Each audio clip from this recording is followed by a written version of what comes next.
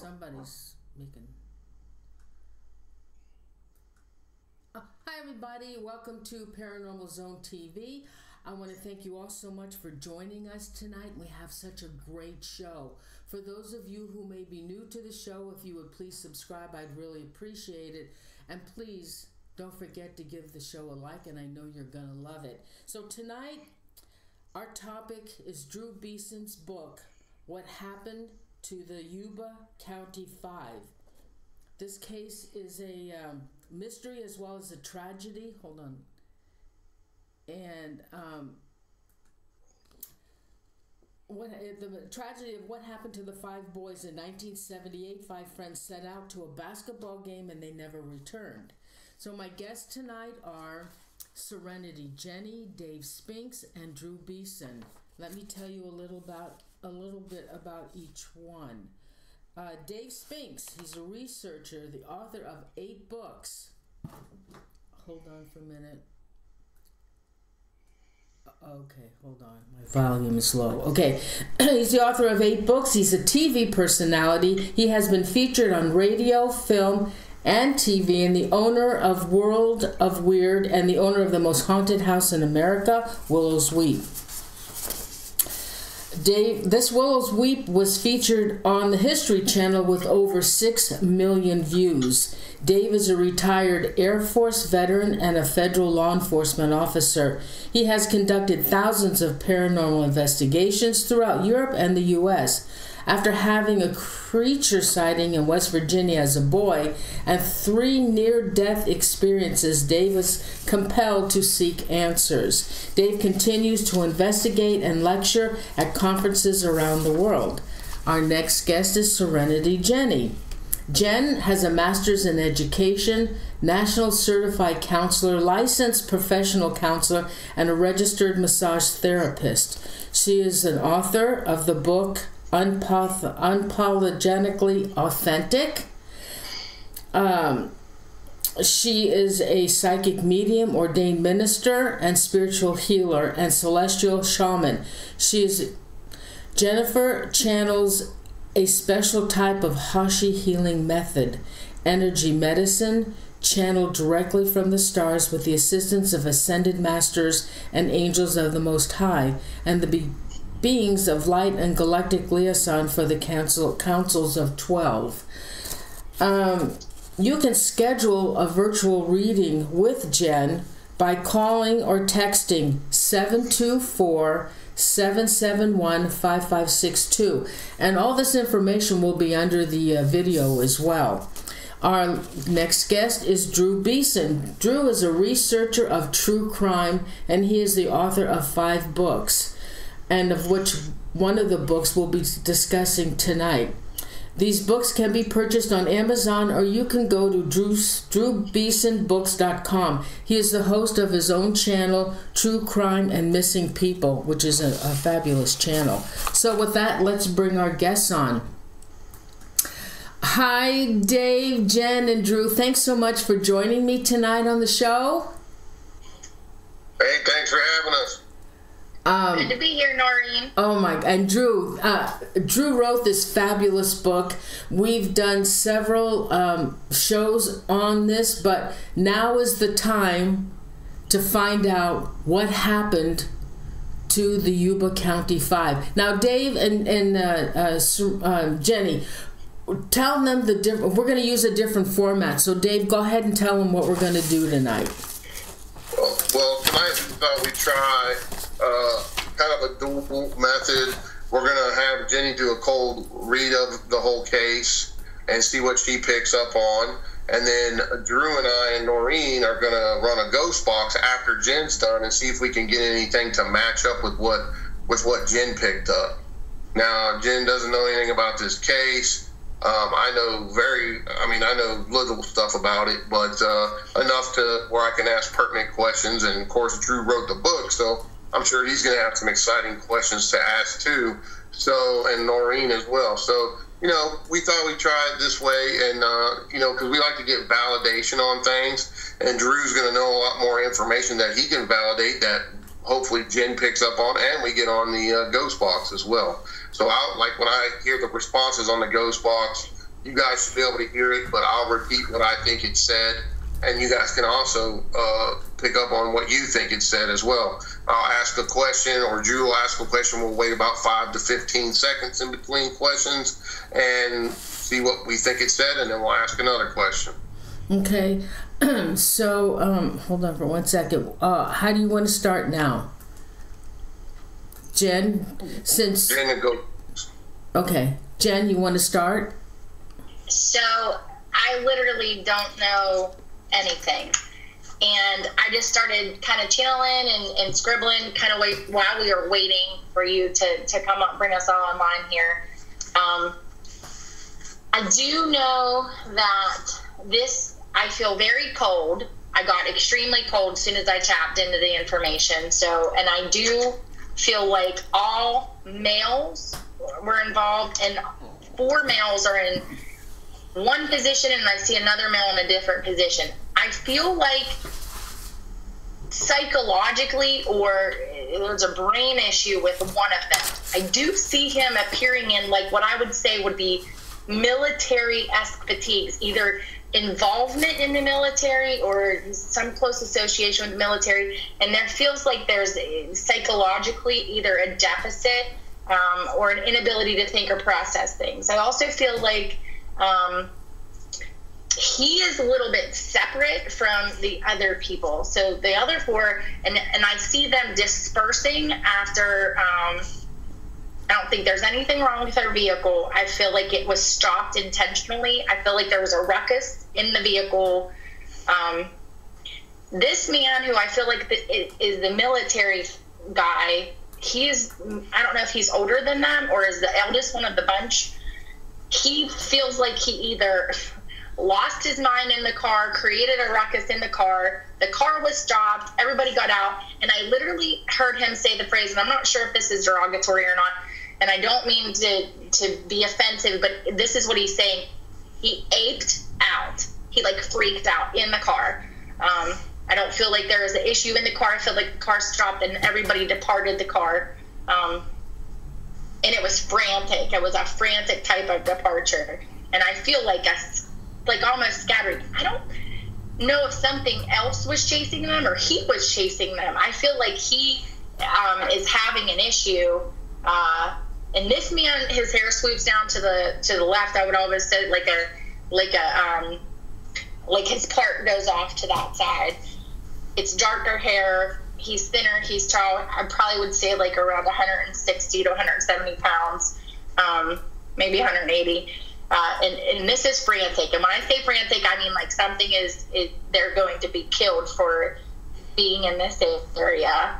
Um, and I feel like one is showing me he ends up in a box of some sort, and I feel like that's the place that he actually died is in a box. Um, and he sat down and is hunched down in the corner of the box.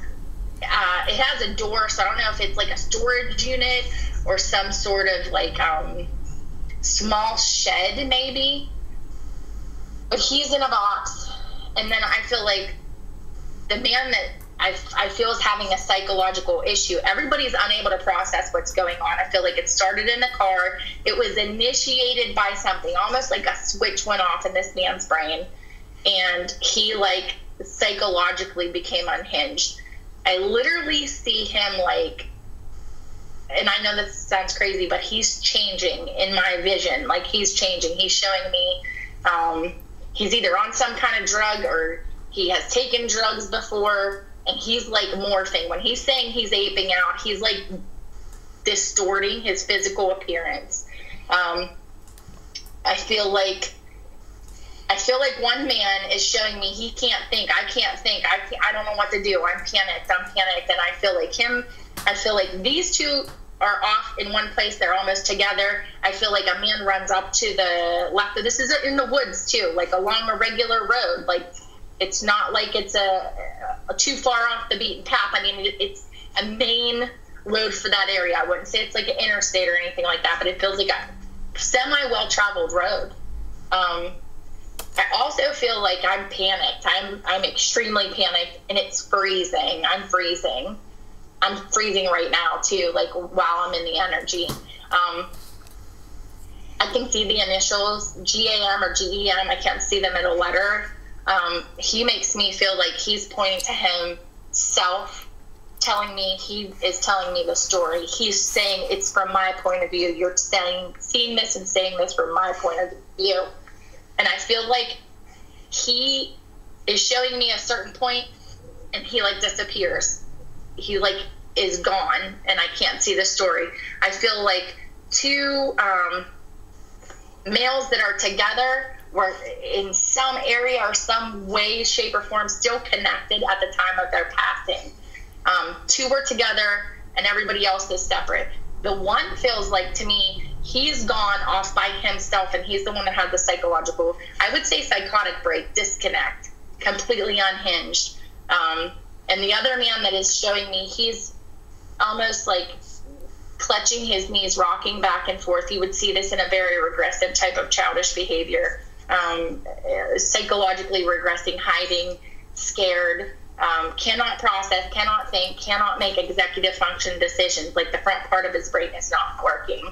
Um, nothing makes sense to me on any plane right now. Like this couldn't possibly happen here. This feels like we're in a sci-fi movie plot. It almost feels like it's unbelievable. Um, and I also feel like the one man showing me, see, all the tires work, all the tires work. There's nothing wrong with the car. He keeps telling me there's nothing wrong with their vehicle. Feels like it's a bigger vehicle or a longer vehicle. Um, not a truck, a car. It's a car. Um, it's not a new car. It's a relatively like modest looking car. Um, I'm not really good with cars, so I don't know what type it is. It's long.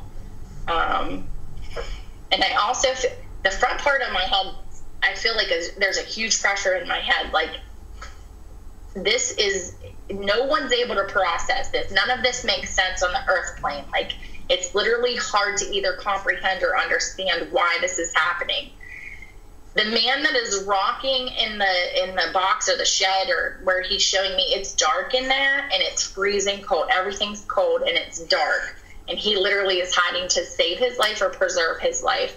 Um, and it makes me feel like he's hiding from this other man that was in the car. He was in the car with him, and he's hiding from him. Um, this man has a thin face, the one that has the military uh, connection. He has a, a thin, long face. Um,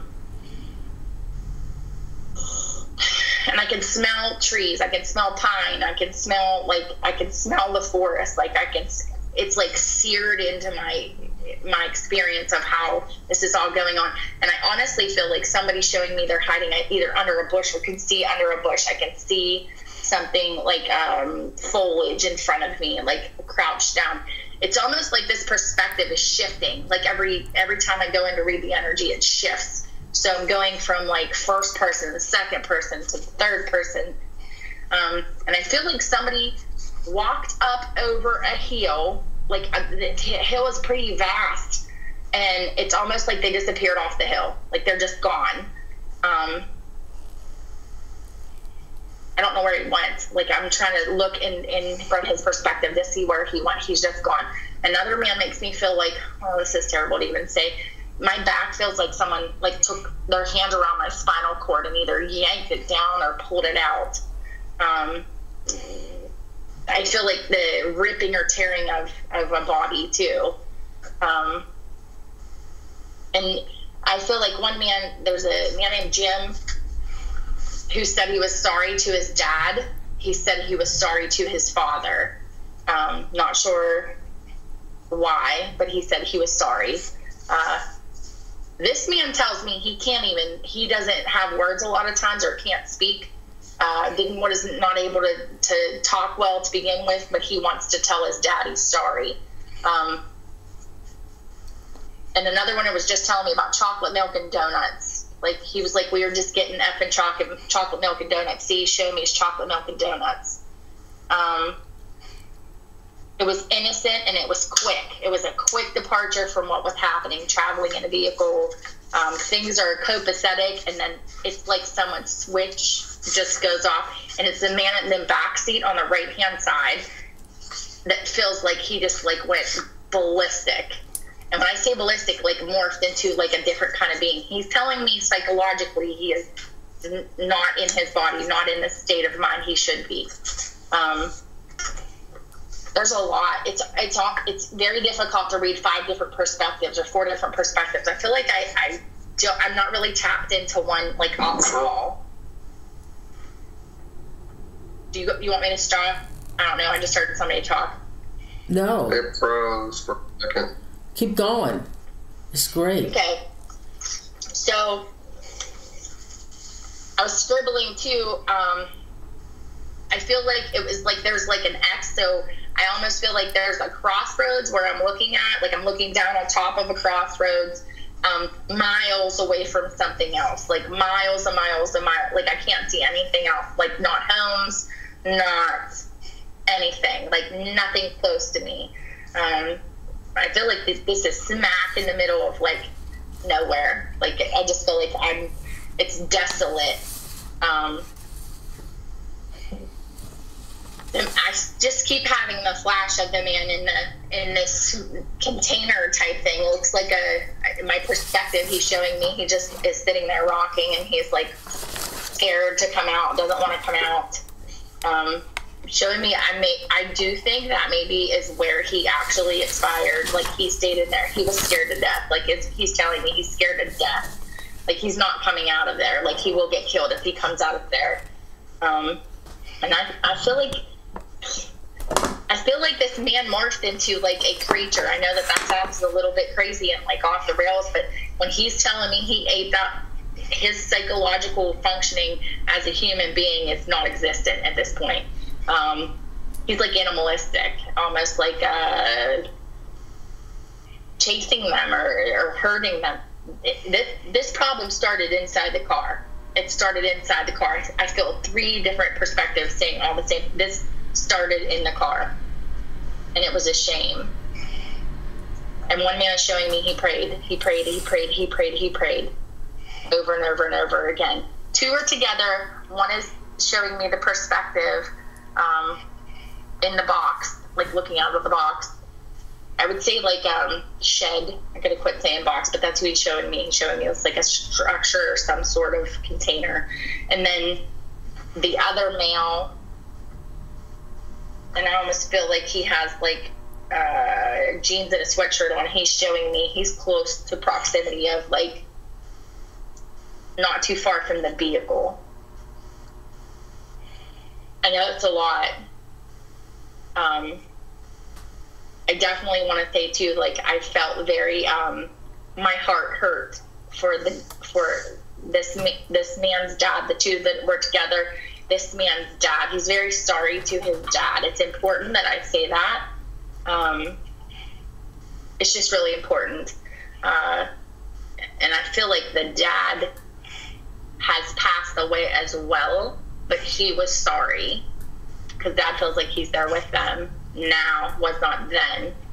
Um, no one knows what happened there, he said. No one knows. No one ever knew what happened and there are not four or one place, and I don't know where the other one went. He's like disappeared, and I and I know that this sounds like, but he keeps showing me like military fatigue, psychological dysfunction, almost to the point where he either was on drugs or takes drugs or takes drugs to keep that from happening, um, and didn't, and lost his mind and they literally were afraid for their life. Two of those are like uh, expiration happens outside the vehicle. One expired in like a in that building structure container, um, and one is like disappeared, like off the planet. I know that sounds a little crazy, but I feel like he's not accessible. And then I do feel like he died later, not there not there. I feel like he died at a later date, and I honestly feel like he may have killed himself or taken his own life. There seems like there's a. Uh, I'm sorry, he mutilated himself, not not shot himself or anything. He, he mutilated himself with a, a sharp object. Mm. That's how, how he passed, and he did not pass at that that same place. He passed somewhere else later in the years. Is that enough?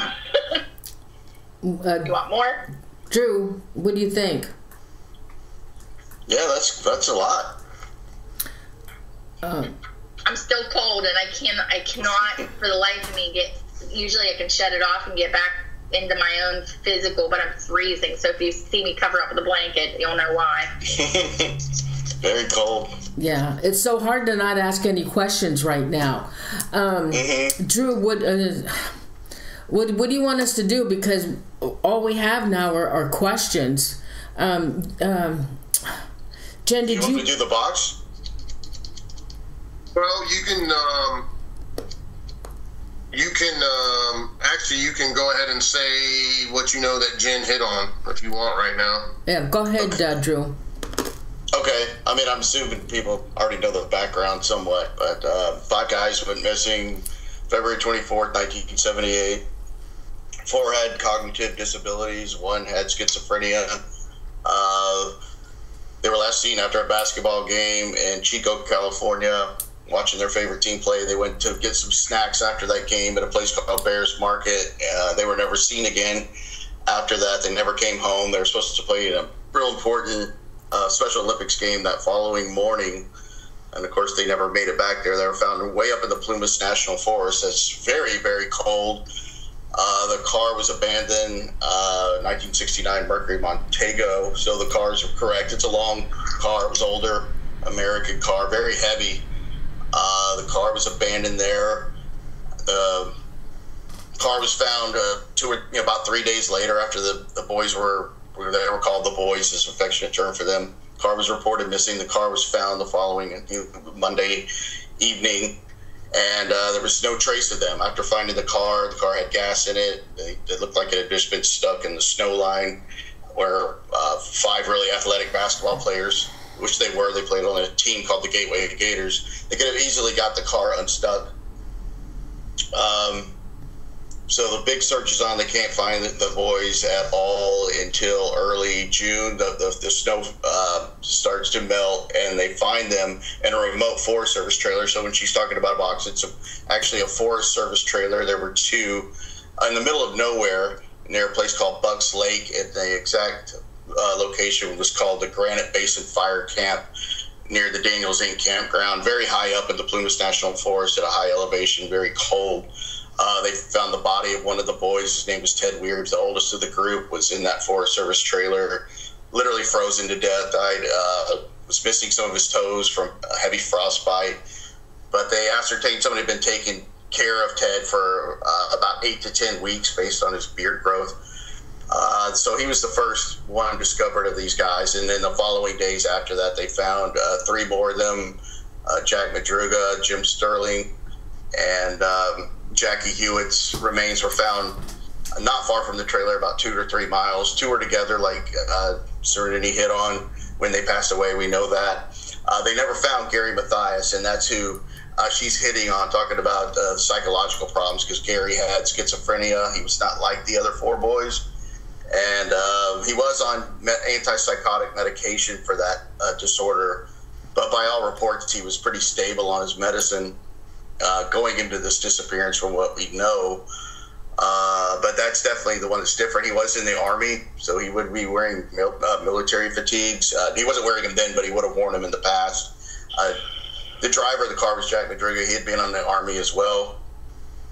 But uh, Gary was the survivor of the group. group so uh, it's interesting that she said that uh, Gary would have died later in the year because there was a sighting of Gary. There's multiple sightings of Gary after that June. Uh, it was few around Yuba City, but most notably from uh, Jack Madruga's niece. Uh, felt for sure that she saw Gary Mathias at a, a bar that her parents owned. Uh, so it's interesting that she said that, that Gary would have passed away later in the year because that's definitely who she's describing as Gary. Uh, and something happening in the car going up that road called the uh, Oroville Quincy Highway.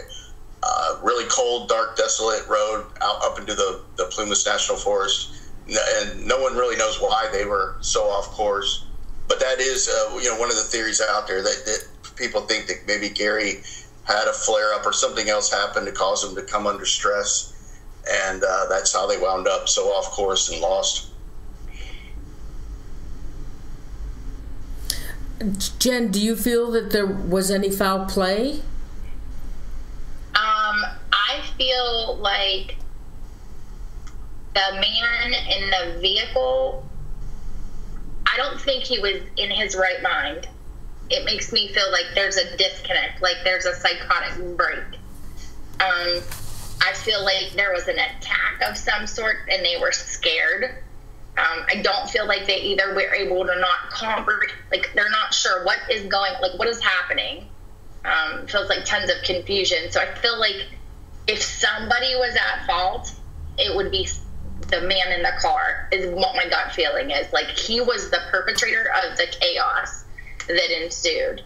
Um, that's what it, it felt like. So it felt like, and it does feel like there's psychological damage from the the fatigues. Is what he's telling me. Like he had been psychologically altered. Is the word he's telling me. He was altered. So, you, is it with your remote viewing? They leave the basketball game. They get in the car. They stop at a place to get some snacks, whatever, and then they continue to drive. But then they go off the main road. They go off of a Quincy Highway or some way, huh, Drew? Drew? Yeah. And then from Uh-huh. there, they end up on the mountain. What happened Yep. in the car to make them go off and up into the mountain? I think that that the perpetrator, the tall, skinny guy that has the the the military, the psychological issues in the military, I feel like there was a threat to to these gentlemen from inside the car. I do not think that um, it was too far of a stretch to like they were led astray because they were threatened. They were they were threatened. I feel like this man had two distinct sides and schizophrenia. I mean, if that's truly what he had and that was an accurate diagnosis, this explains. I feel like there's two separate um, people in him. He like literally said me to me the phrase he aped out. I'm not sure what that means. Um, I'm assuming that means snapped. He snapped. Um, and he was he was is making me feel he was the problem. He was the problem in the car. So they. Um, and there was scuffle and chaos in the car, confusion. Um, I specifically see a chocolate milk container and white powder donuts. Very specific. Uh, I, yeah, Stuff flying in the car. Not sure if there was stuff left in the car, but everybody departs the car and is like running for their lives well, from from this man. They're running from this man. so he goes berserk, but and they were afraid of him then because they were mm-hmm. afraid of him. He was he going to do any harm to them? Yes, yes. There was harm happening in the car. It feels like there was a free for all in the car.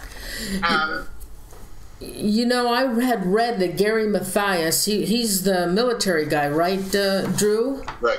Okay. Uh-huh. I, I had read that he had a reoccurring dream that he and several other people would disappear. Mm-hmm. That's, That's what true. Was there any weapons found in the car or in the around the bodies? No weapons. So I'm thinking, okay, there's four of them and one of him. They could have overpowered him pretty easily. Oh yeah. And he had a more dominant personality for sure. I don't think they could process. I, I feel like they're like shook. Like this is not happening. Oh my god! Like what is happening? I don't think they were prepared to deal with an issue from within their own group, if that makes sense. Cognitively, I don't think they could process really what was happening. So when they, then, well, they got stuck in the snow, which they could have all pushed the car out, and they get out of the car and they they go their different ways. Were two of them together when they when they dispersed from the car? The two of them were together. They, when, when their bodies were found. Oh, did so? What happened? Did they all go a separate way then when they ran out of the car? two went one went to the left is i mean i'm looking at it like two went this way to the left and and the, i don't know where the the um from the view of like that box structure that container or whatever i'm looking at Um, that man, it almost looks like one went left directly, one went over the hill, like probably to my 10 o'clock. If my 12 o'clock was straight in front of me, it would be to my 10 o'clock um, north. That's why I was wondering if there's a weapon involved because why would you take off running in different directions unless you're being threatened with a weapon of some sort? I think this man looked like a monster. I'm not kidding. When he said he aped out, in my mind's eye, like he has come unglued and is like psychotic, like like has not a, a, a human quality to him anymore. He literally looks like he's like morphed into something. So one of them was found in a um, a ranger's trailer, Uh, and um, and there was they were able to get heat, and there was food, canned food. Were they army rations, Drew, or just canned type of canned food? Yeah, they were they were Army C rations, And and they ate very little of the food. Yeah, and they didn't even attempt to have any heat. Who? It was. Uh, let's see. They found it was Ted Weiher. Was anybody else in that trailer with that Ted? you're asking me this. Yeah.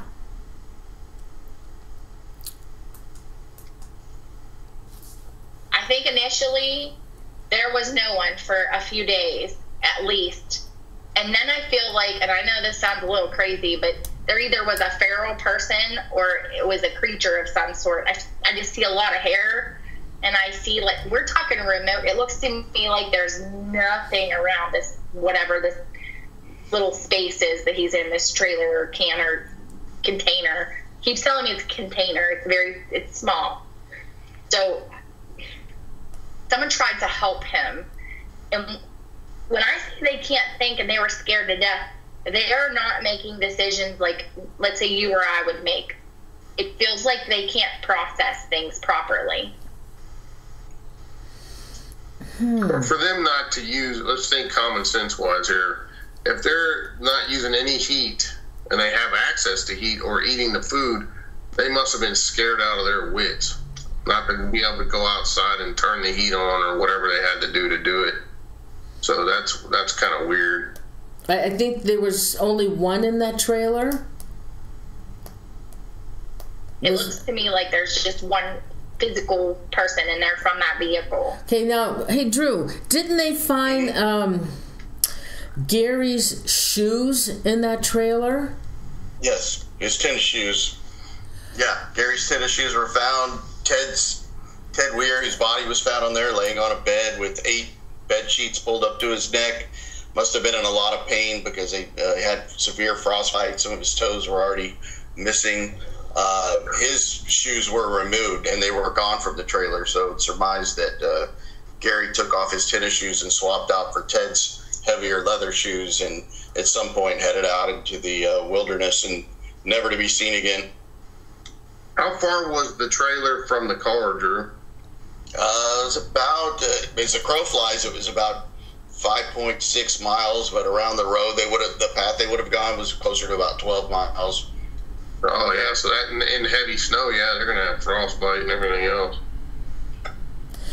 Drew, what about that fellow by the name of Joseph Schons? What's the story with him?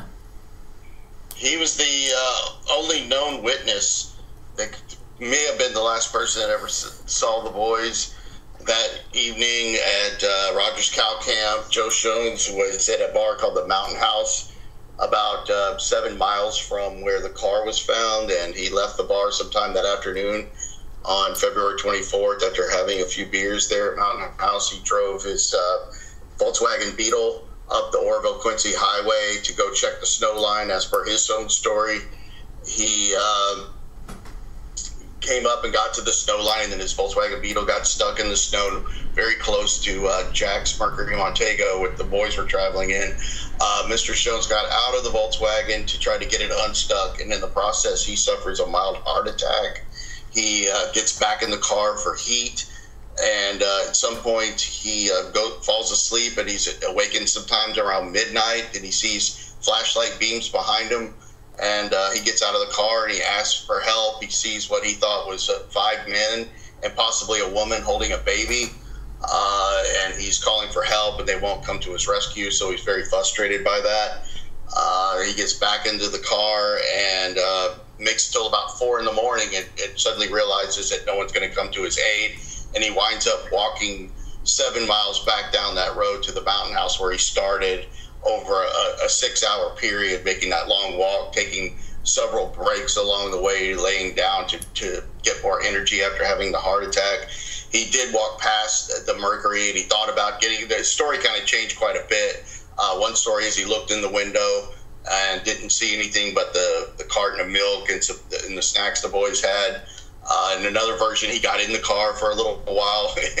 so his story changed quite a bit, but he makes it back to the mountain house. He gets a ride home. His wife later later returns home to where he lived, not far from there, and uh, later that evening took him to the hospital. Oh, so she's here on the milk too. Mm-hmm. Yeah.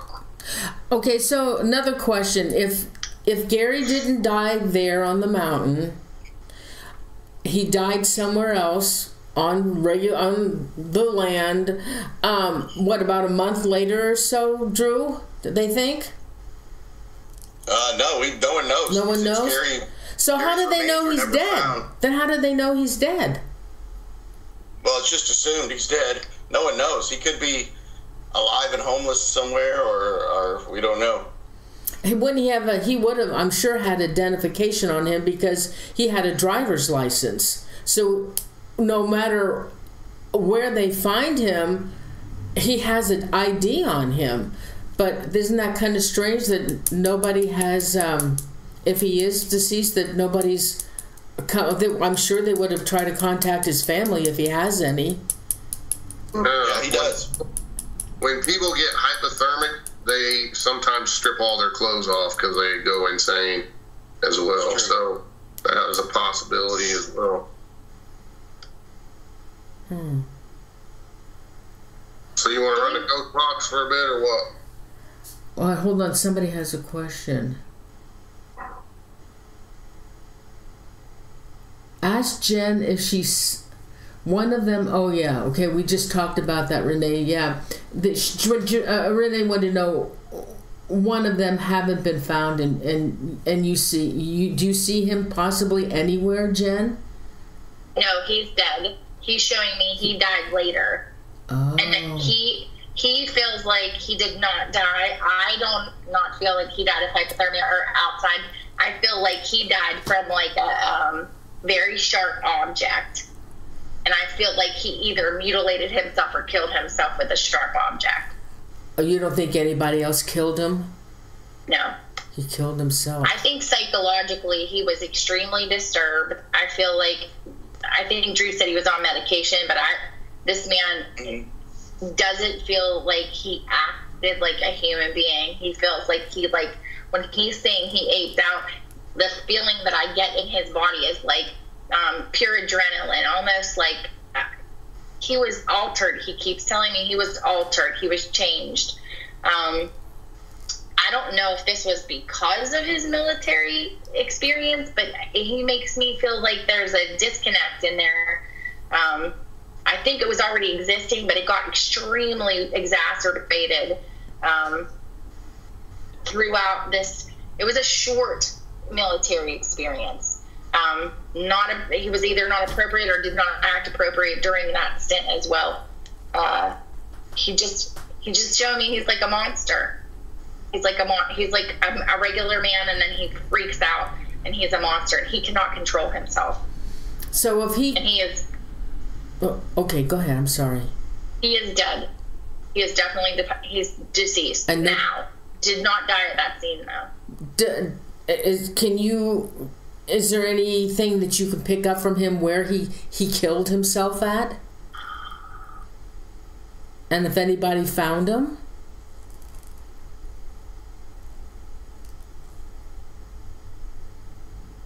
I do not think he was ever identified, so I'm not sure if anybody found him. He said he's not identified. Um, he does make me feel like uh, he reintegrated into society or like tried to re-enter society unmedicated. That did not work, and stayed in some outskirts of some smaller town. It looks like I'm trying to see like anything that I is like designating, or he could tell me where he was. Hmm. Oh, he literally did not. He didn't have any touch with reality. Completely psychotic break. I feel like that was it. He like could not. That was what he was telling me. He could not reintegrate with society. Like he couldn't. I don't know anything about his military experiences, but I feel like there was some sort of either. Um, he's telling me it was experimental. It was experimental, and he couldn't function after that. He just couldn't function. Heavily medicated at his own hand too. So he also took drugs. He was on medicine, but he also took drugs. Couldn't fix it. Hmm. Couldn't fix himself. Maybe he's part of MK Ultra. Wow. He's not able to participate in society. Couldn't do it. Wow. Drew, can you come up with anything else for her? Not right now. Let's, let's see what we can get on the spirit box. Would be really interesting. And uh, who might show up? All right. You ready, Norene? Yeah, go ahead. All right, let me turn this on and see if it sounds okay. on Okay. All right, what I'm going to be using is um, my favorite Ghost Box, the old timey hat check. This one seems to work the best for me.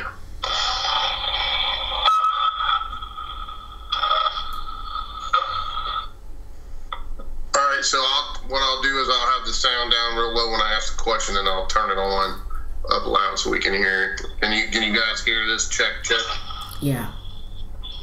Hold on. Can you hear that? Okay. Uh, Okay. uh, can you hear that, Drew? Mm-hmm. Okay. Okay. Yes. Any spirits that want to communicate with us, feel free to use this box box's energy. Only the box box's energy, please. Do not use my energy or Drew's or Norene's. Uh, you can send Jen messages psychically if you want, but you can't use her energy either. Um, we are trying to communicate with the Yuba 5 gentleman that came up missing. So if you guys want to come through and give us any messages, we are glad to receive them.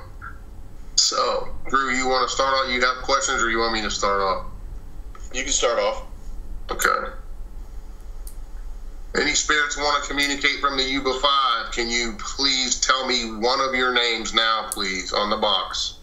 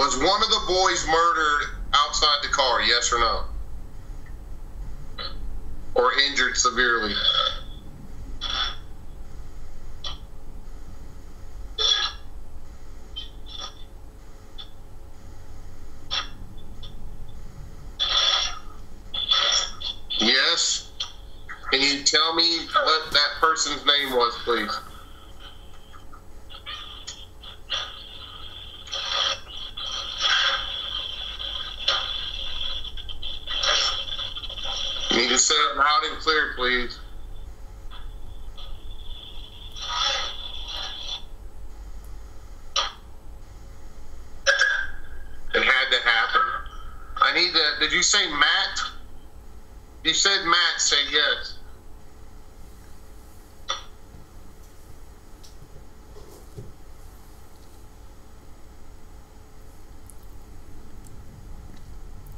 With it. I don't know the names, Drew, so you have to fill me in. I knew the Gary one, that was it. Dude. I couldn't make out what he was trying to say. Maybe Jackie. Up to five.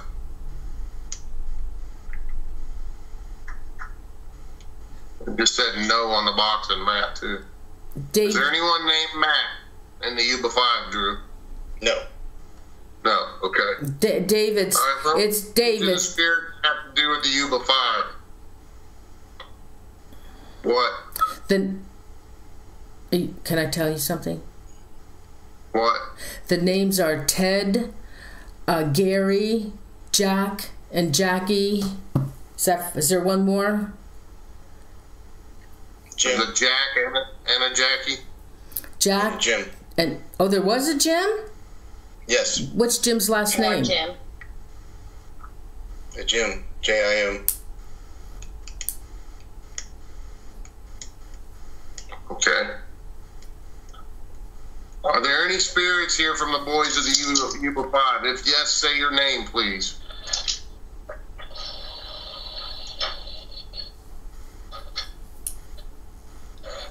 Yes, the five. It said the five.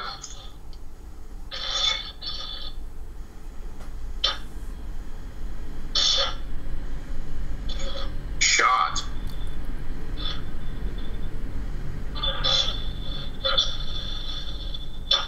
Was there any was there anything supernatural that went on during these boys coming up missing? Yes or no?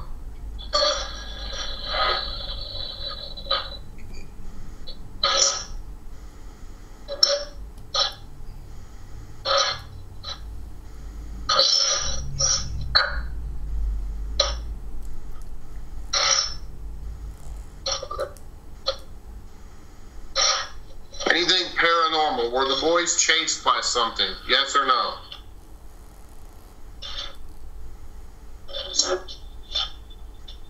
Okay, you said they said yes.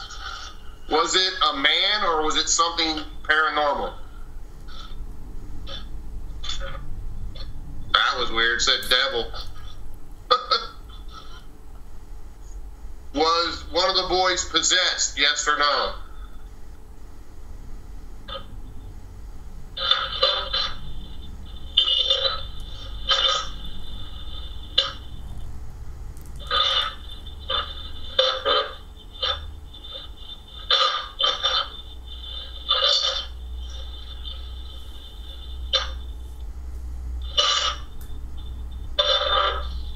Was the boy that was in the army, was he part of some sort of military experiment? Yes or no?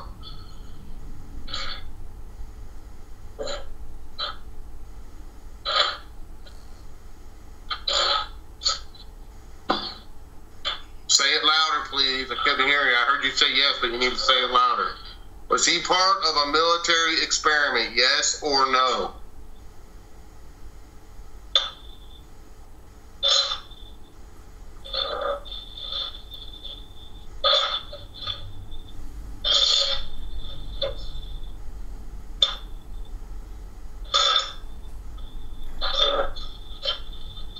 It was Jim. I heard it. It was Jim. It's kind of broken up a little bit electronically, but it said it was Jim. Jim possessed? Yes or no?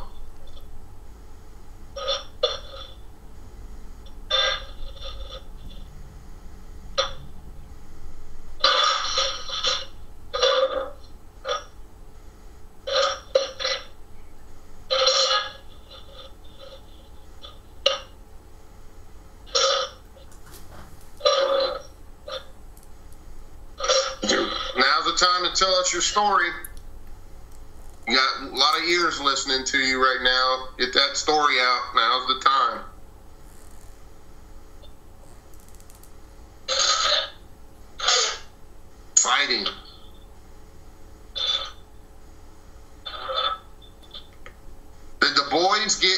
fight in the car? Yes or no?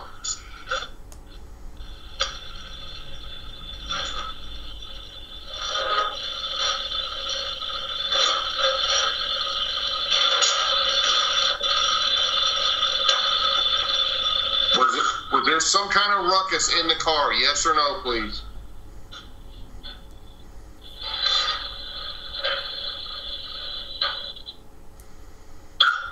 Real quick, yeah. Like someone said, yeah, from far off.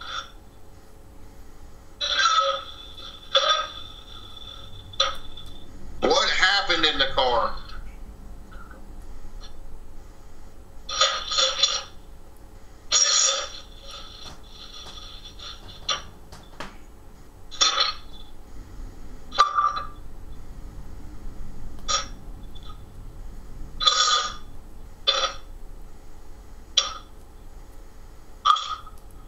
I don't know what that was. Was there a fight in the car? Yes or no, please?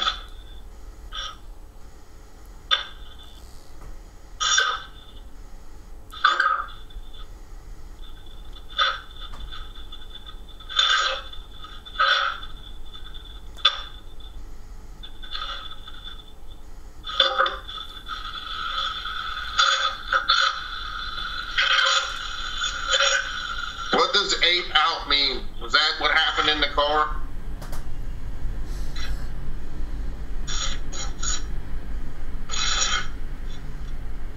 Does that mean freak out? Yes or no?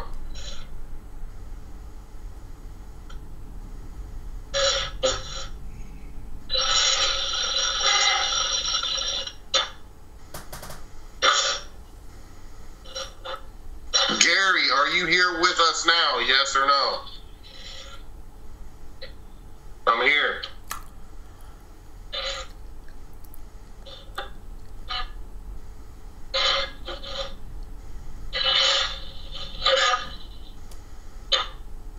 Gary, did you die on the mountain? Yes or no?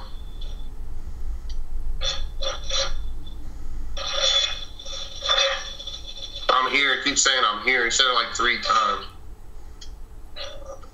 Tell us what you need to know, need us to know.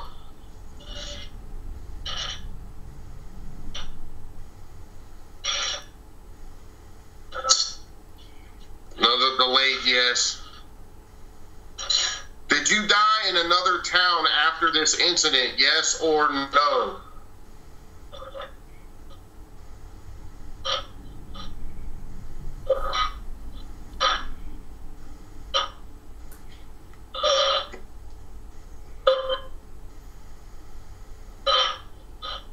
I got one more question for you. What was your favorite sport?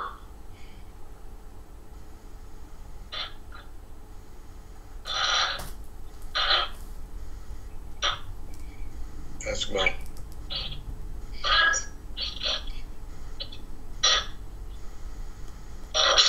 Tell me what your favorite sport was.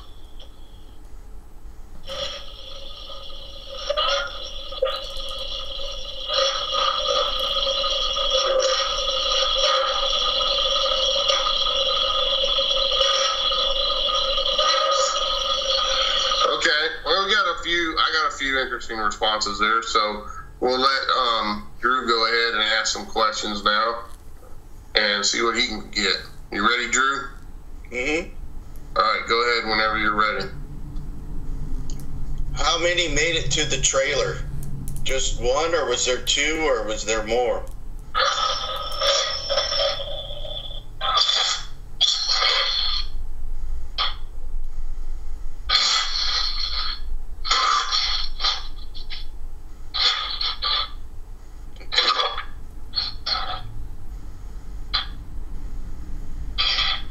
Can you say it louder, please? I heard it, but I need it louder so everybody can hear it.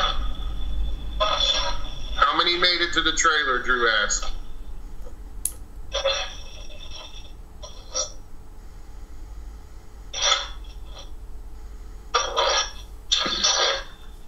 Okay, I heard one twice and two twice, so I don't know. I heard two. Yeah, it's very low though, very low. Okay, ready for another question? Did Did you take Ted's shoes and leave your own shoes?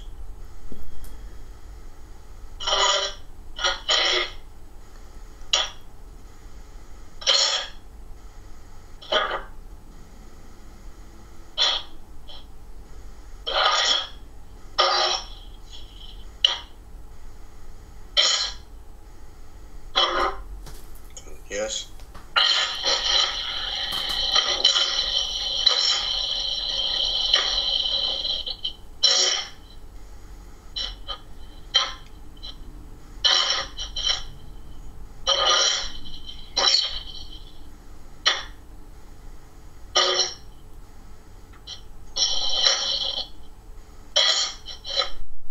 The very long delayed yes there. Yeah, I heard it.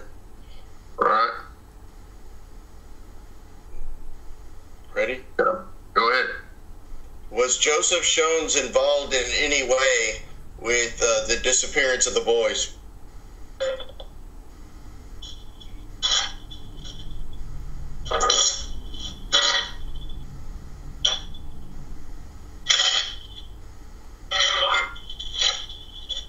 I heard, I heard no like that.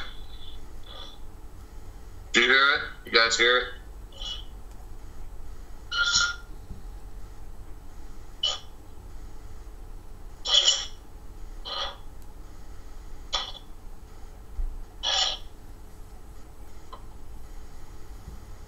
Drew, Mhm. do you know anything personal about Gary that you could ask that uh, we can prove that it is Gary that Dave is communicating with? Sure. Gary, what was the name of the, the rock band you were in? That you were a singer for?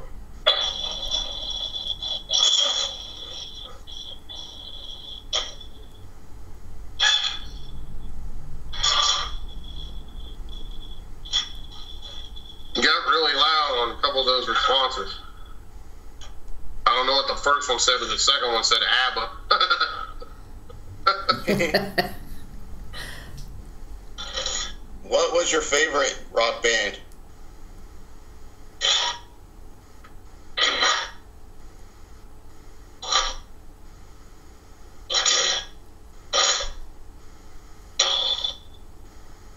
Heard it.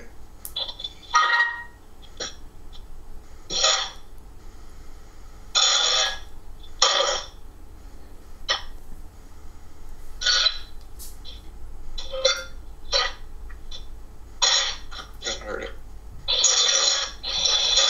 I just said Fleetwood Mac. Did you hear that? That's an interesting one. I can see him liking them. Was Fleetwood Mac your favorite band? Yes or no?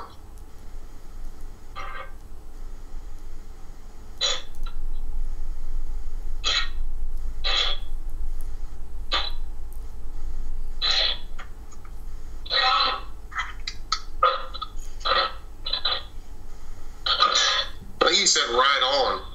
I heard that. Bentley Wow. said something on. It Yeah. almost sounded like you said yeah. like right on. yeah, I heard that. I'll, I'll find out. Of, of course, it just said. Did you have a girlfriend at the time of the disappearance?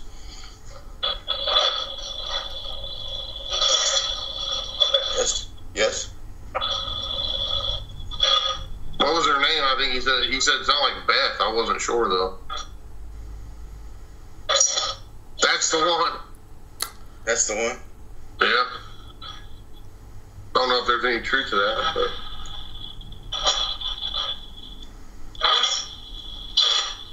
oh, it just said no witness and then safe. Thirteen.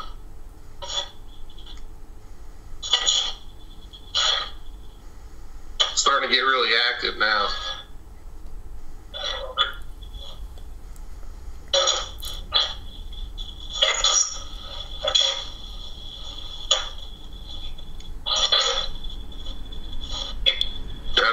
Anderson Group? Yeah. Did you stop taking your medication before the disappearance?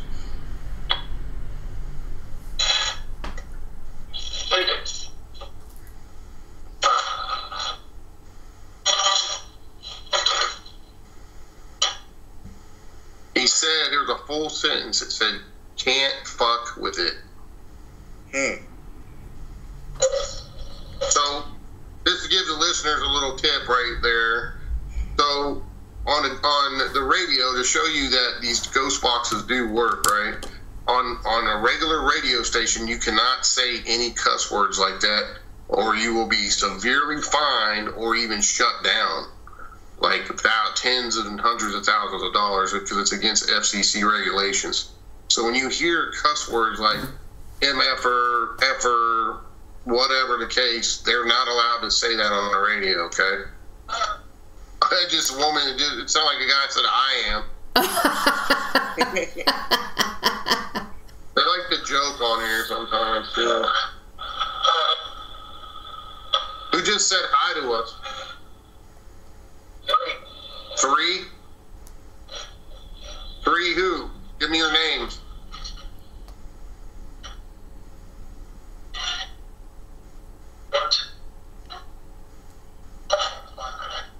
Gary, if you're on there still, what's your last name?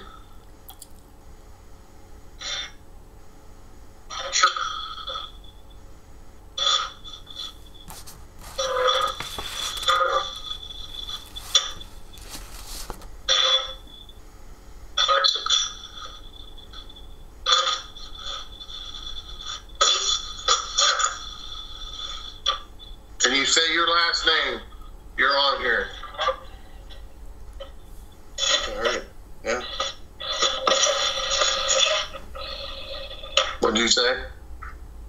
Got another question? Yeah. Sounded like it, didn't it? hmm Got another one?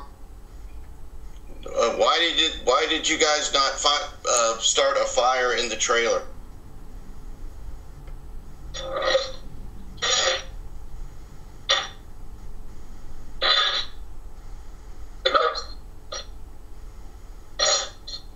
We le- We left.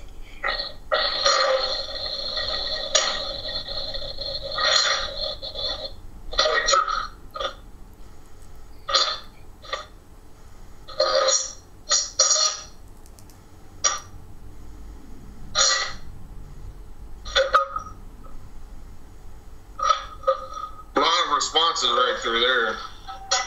I heard, I something about Left. ice and thick. Yeah. For sure.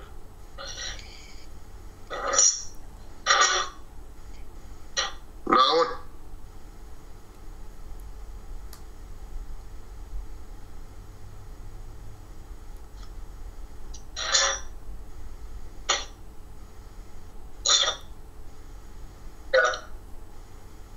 If there's any uh, there, can you tell us one of your last names or first name?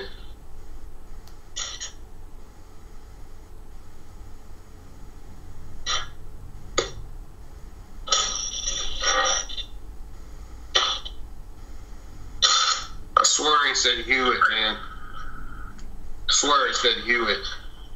Oh, really? Ask Gary if he was going to harm one of the boys, if he was able to catch them. Ask Gary if he had intentions of hurting one of the boys. You asked him. Oh no, you you ask him, Dave. Go ahead. All right. Gary, did you have intentions of hurting one of the other four boys? Yes or no?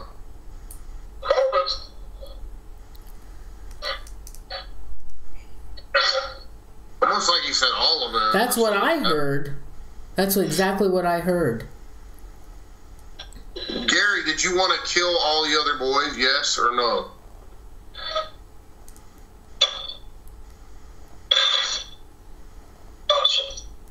Thought so. So you thought about it.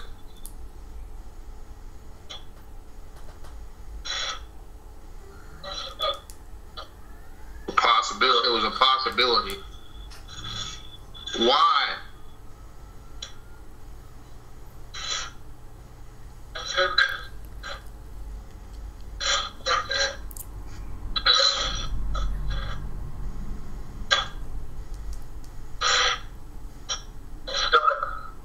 Kill them. You hear that? Oh yeah. Uh, ask him. Ask him why he became friends with the four boys. What What was why?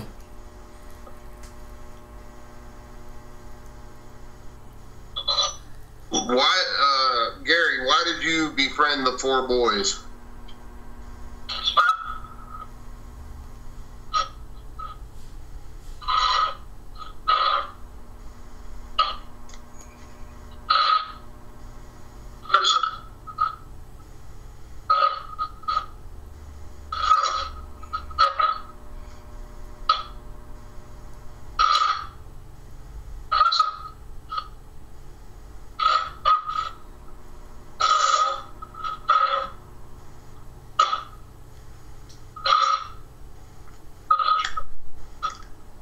It feels like you're right on the. I think they're. I think he may have been. Uh, they may have tested on him and stuff. Did the military give you a lot of different shots, Gary?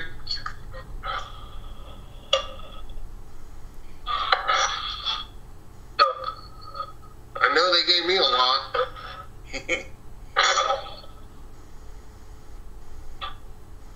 Did you volunteer for any special projects, Gary? Yes or no?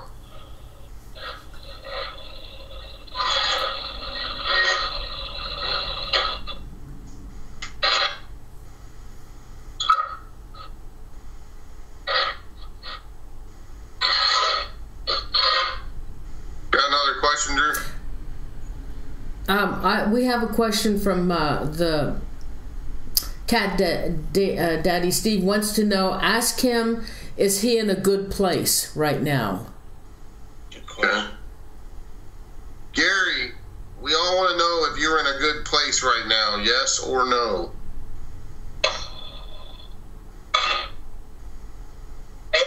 I am.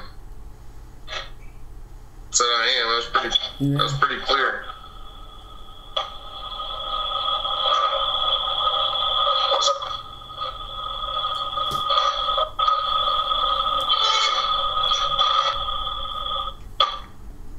If Has you're in a good place, can you say yes?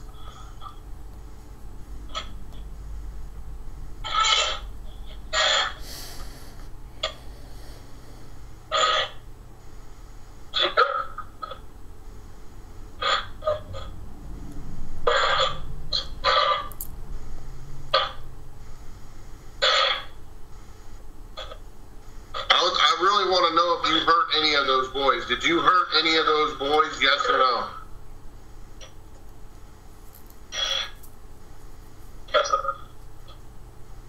I heard he said I cussed them out. I said cuss them out.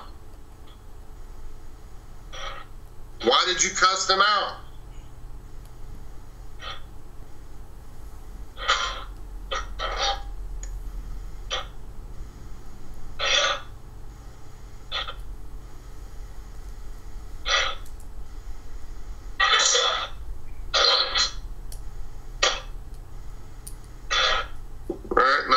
Yeah, I want to ask Drew. Uh, Drew, uh, Gary, um, was he a part of that basketball team, or he was just going along for the ride?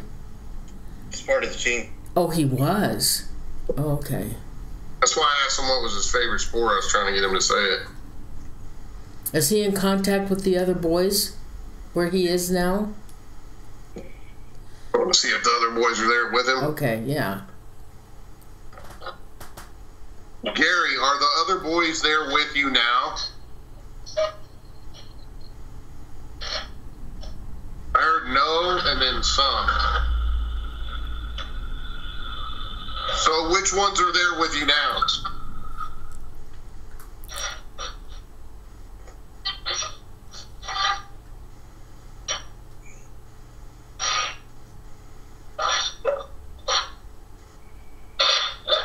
That's bizarre. It said the car is full.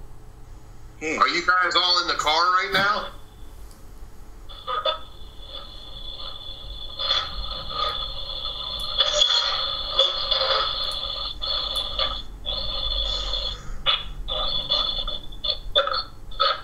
Did it all start in the car? Yes or no?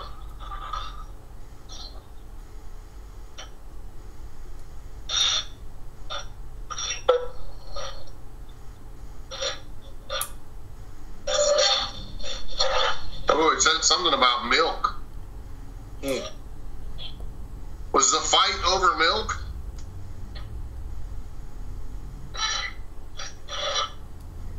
Hmm.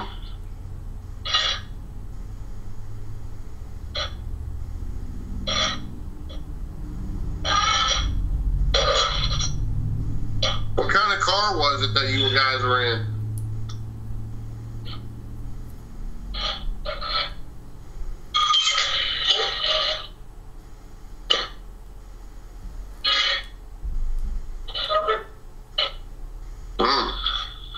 What are you saying?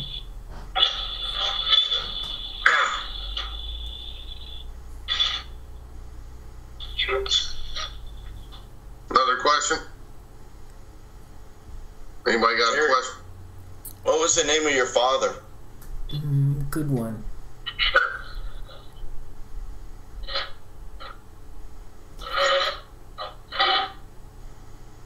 Make sure if you hear it, you let everybody know, Drew.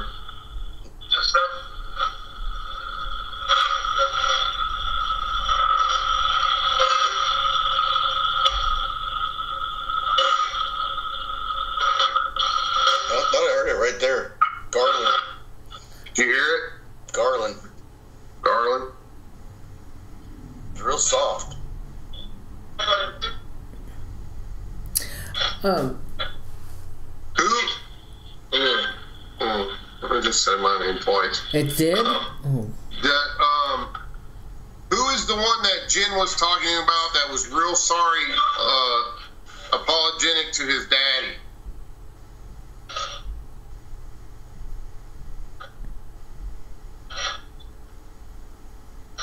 Said Jack. Said Jack. oh, There's two Jacks. Which Jack? yeah.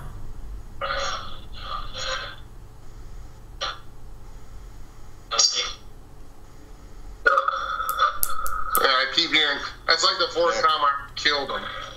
It's like the fourth time I've heard that. Hey, um, Drew, they were uh, friends. Gary came in at a la- the four were friends to start with. Then when did Gary come in as as part of this group? He came in later. You know, the little, you know, the year before they went missing to, to uh, help them teach them basketball better and be part of the team. Oh, okay.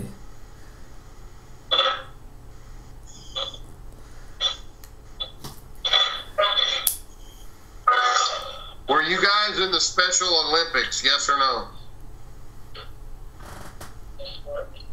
At one point. Yeah, it's I heard that. Said at one at point. one point. It just said something about fire. Said fire.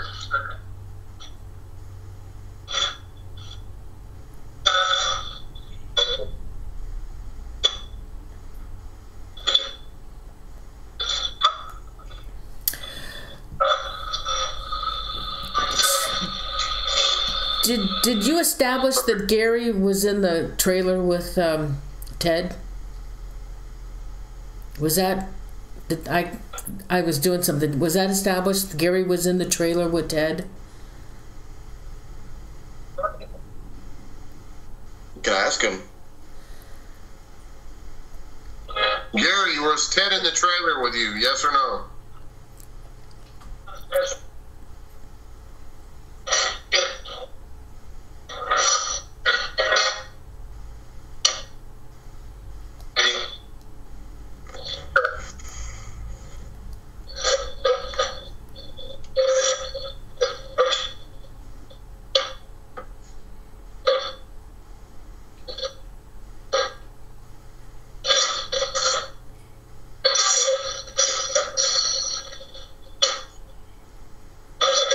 Who died in the trailer?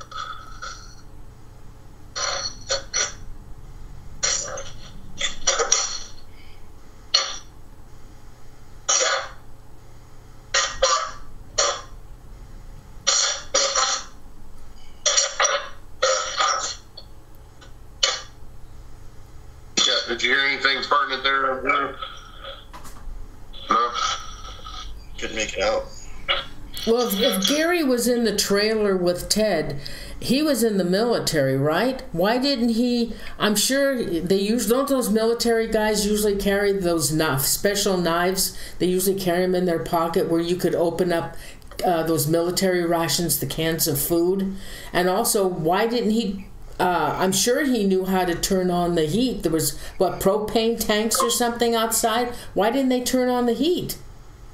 Yeah, that's what that's what I don't understand. You want to ask them why they didn't turn any heat on? Yeah, go ahead. Why didn't you guys turn the heat on that was available to you in the trailer?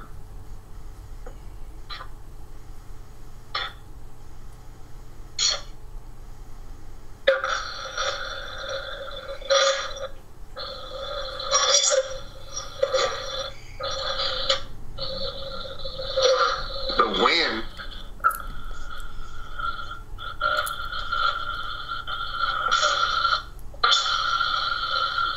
I don't think the wind would stop you from trying to start a fire if you're freezing to death.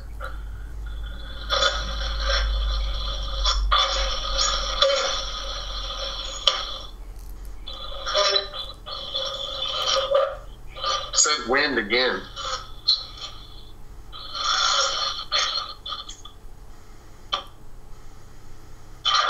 Were you scared to go outside the trailer? Yes or no?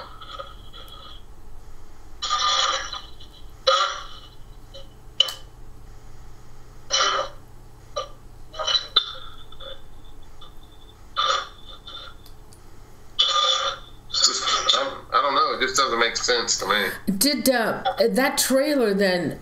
Did they have any lighting in that trailer, or were they in the dark? Did you guys have lights in the trailer? Yes or no?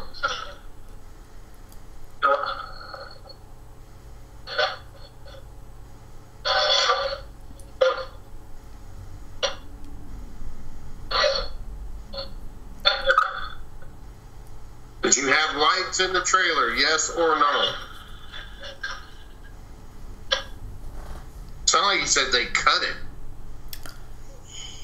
Did, did someone cut the power?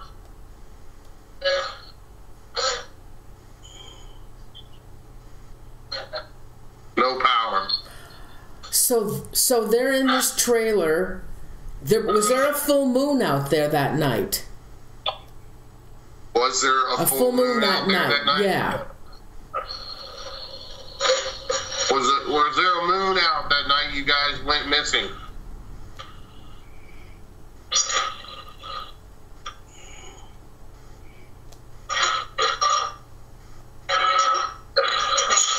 Heard yes. Oh, okay. Okay.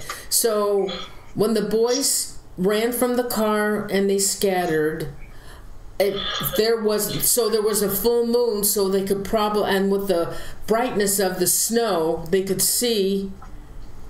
I guess where they were going. So there was uh, there was no lights in the trailer. There was a full moon, but um, and they couldn't, and it was dark in the trailer. So how were they even able to find the food? And supposedly they ate some food, but there was plenty of food for them to live on in that trailer. Yeah, I mean, but they didn't have to have food that night. They could have survived No, two no, but- days without food. So it- I don't know. It sounds to me like Gary was there with him. The kid was freezing, uh, and Gary left him, left him to die. He wanted to kill them anyway, so I think Gary just left him to die, not to help him out. And Gary probably ate the food. I bet he didn't give Ted any of it. Or he killed Ted and took his shoes and dropped through the snow. Um, I don't know. They did an autopsy on him, didn't they, Drew? I, I don't know what the autopsy, if they found anything. Ted starved to death. Yeah. So that's what I'm thinking. And I, that's bizarre. But wasn't there food found in the trailer Yeah. when they found Ted? that's what I'm saying. Gary probably ate the food and di- and didn't give anything to Ted. He might have suffocated Ted somehow. Or he just froze and they thought he froze to death. Gary, did you kill Ted? Yes or no?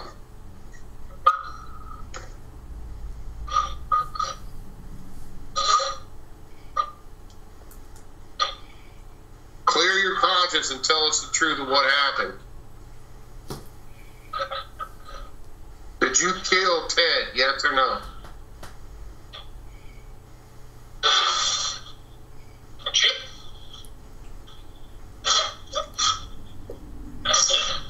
Accident. Really? Hmm. So did you have a freak out and kill Ted on accident? Is that what happened? It had to be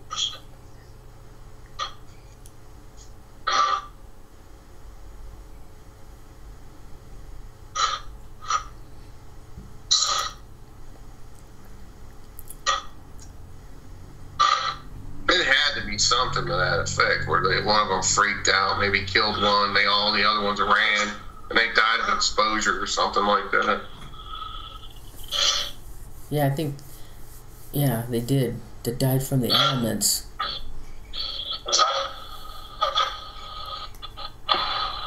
Any more questions? Yeah. questions? Um, d- does Gary know if the boys uh, forgive him? Gary, do you know if the boys forgave you? No. Said no.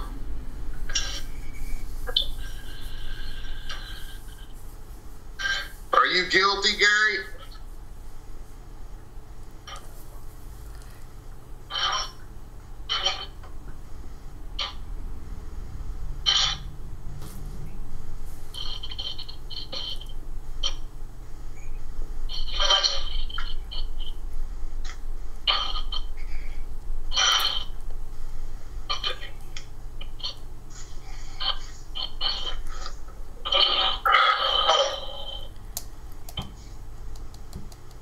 Anything any of you other spirits want to tell us about the Yuba Five? Now's the time.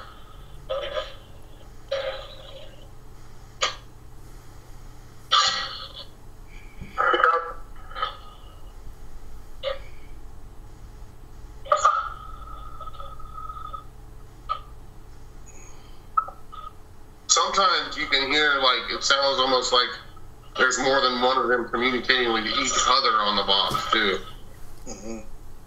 Because it said uh, like it was one on there talking to another one that said don't know, don't stop now.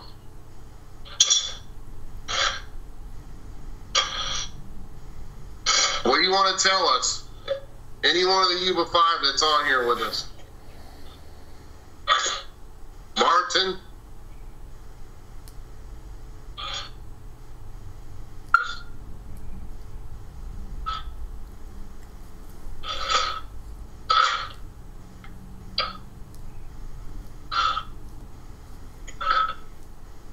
is bill on here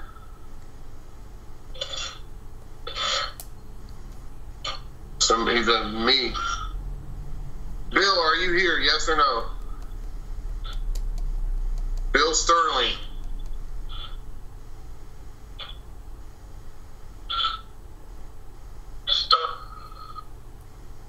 Bill, how old were you when you died? Ooh.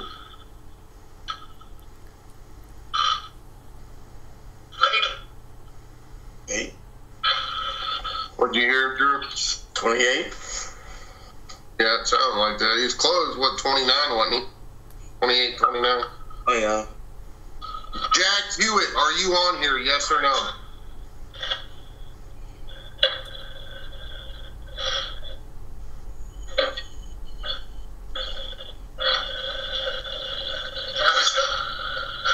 When I was at, right when I got done asking that question, I heard a, that first voice say 20, 28 like he was correcting me.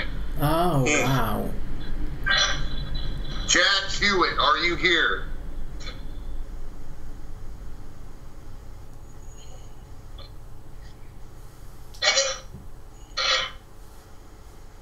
Jack Huett, if you are here, how old were you when you died?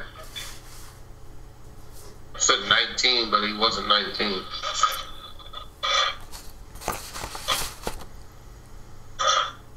How do you say Ted's last name, Drew? Weiher. Weiher? Ted Weiher, are you here? Wow. if you're here, how old were you when you died?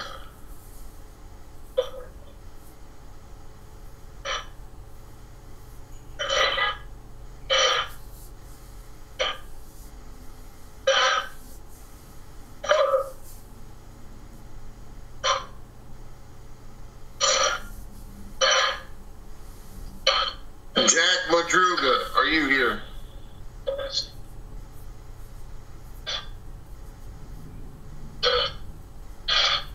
How old were you when you died?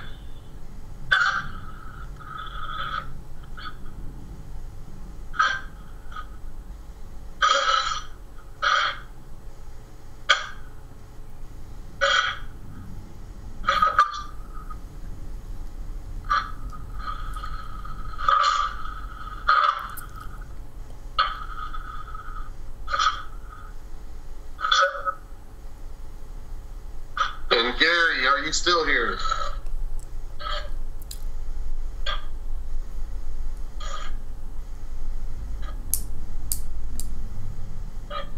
Jen, are you picking up anything of any of them being here with us still? I do. Um, I felt like Ted's voice was pretty consistent over there. Um, I felt like Gary left for a bit, but I do feel like he's back now. Just since you talked to him, he did leave for a little bit. Can I, I have a question? If if there was a there was moonlight that night, they were able to see where they were going. Why didn't they? Were they able to? I know they they ran, but were they they lost once they ran, or were they able to see the car or know how they could get back to the car? One of them had a driver's license beside Gary. That other person could have gathered the other boys of what he could, and gone in, gone to the car and taken off, gone for help. Was it? Was Gary's car?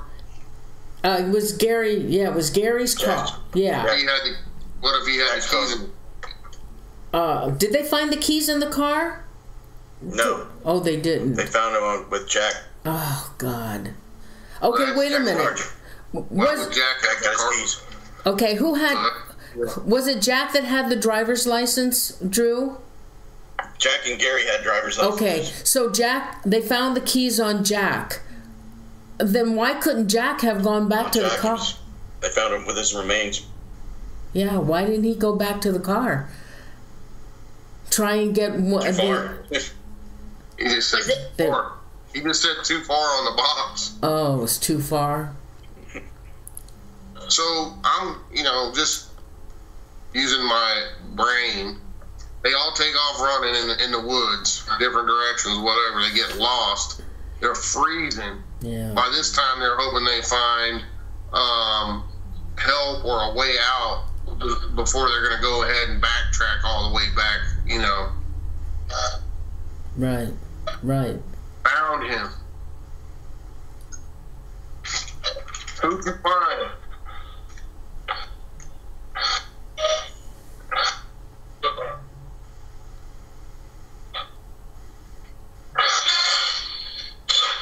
So I'm just, you know, I'm just guesstimating what, what, what I'm thinking in my head or seeing in my head what could have transpired there. Was there weather? I, I do think it was windy and like blizzardy conditions. I feel like it was very tough to get bearings. Do you know anything about the weather? Was the snow pretty deep, Drew? Oh yeah, really deep. Three to six feet, snow drift, Yeah. cold. Was But I feel like it was bl- like blowing, like almost to the point where it was like you couldn't navigate. Said yeah.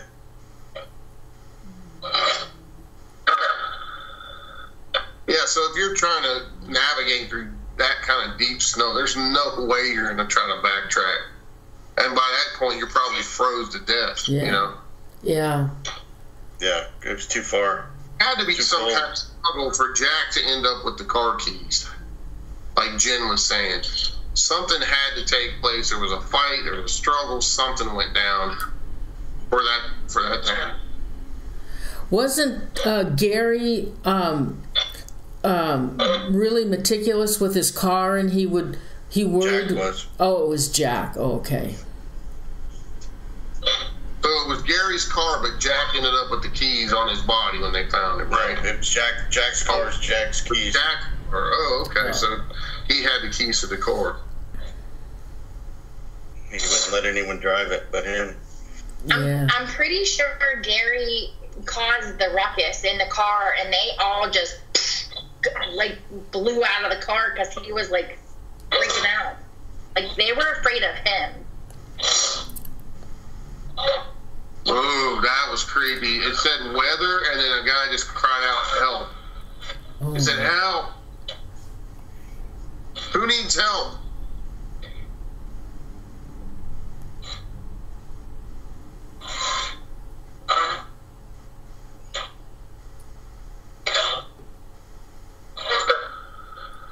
We're only speaking to the Yuba Five now, Spirit.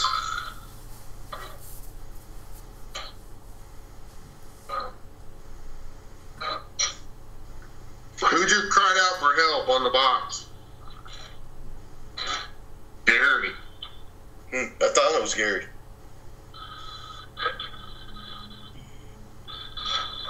Did Gary have a mental breakdown?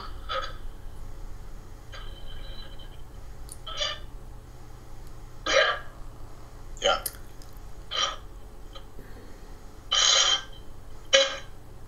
I brought up that I brought up his picture. He he looks wide eyed and like he is. I mean, he don't look like he's all there. Like He's Charles got- Manson, like all the way around his eye, you can see the white. He's got what we call in the military the thousand yard stare, stare. Like he's got major PTSD, man. Wow. I mean, he just you can tell by looking in his eyes, he ain't all there. He feels like he has a fractured, like a like a uh, a psychotic, like fractured. Like he would always um, be normal, and then he would just shift. Snap. Yeah. Mhm. And he was d- diagnosed with skit as a schizo. Yeah. Yeah. Just that uh, voice just said, "Hey Gary," like he's trying to talk to Gary from the box. That's pretty wild.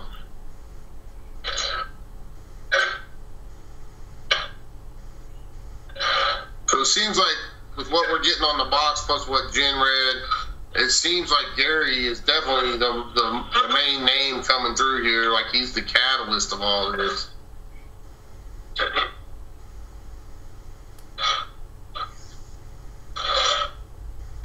I mean, if you look at his background, it's spot on with what Jen was saying too. He's a schizo. He had, you know, I'd be curious if he identifies what happened in the military to him. yeah. It said he was uh, put like in the mental ward at the, at the, in the military too. Yep. He just said, Yeah. yep. Yep.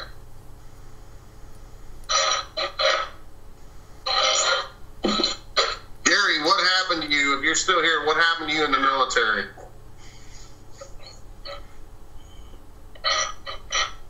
Something about dope. Oh. He took Did they give you something, Gary, that messed you up?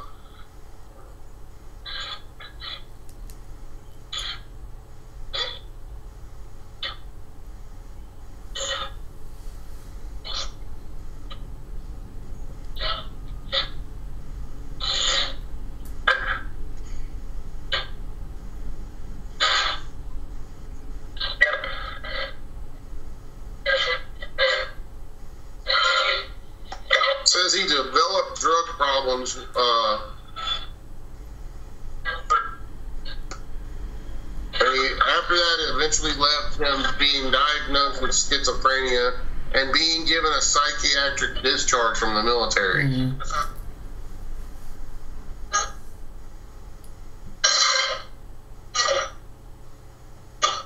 He was nearly arrested for assault twice.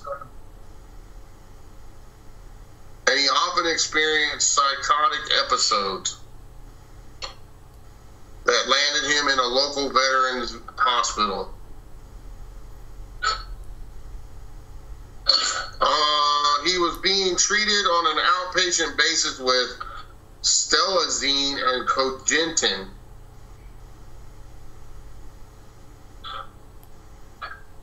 And then his physicians considered him to be one of our sterling success cases. Really? Huh.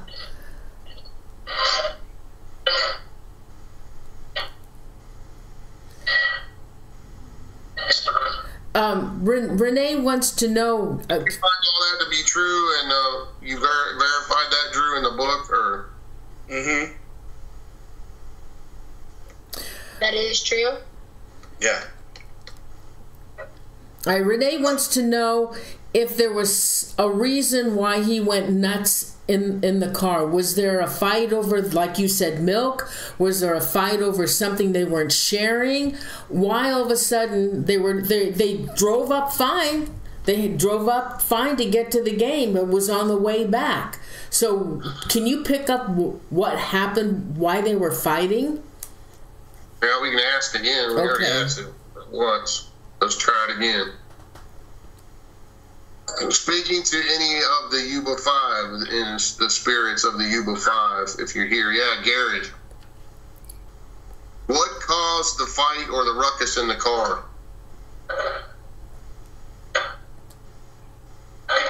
I did. What happened? What caused you to freak out?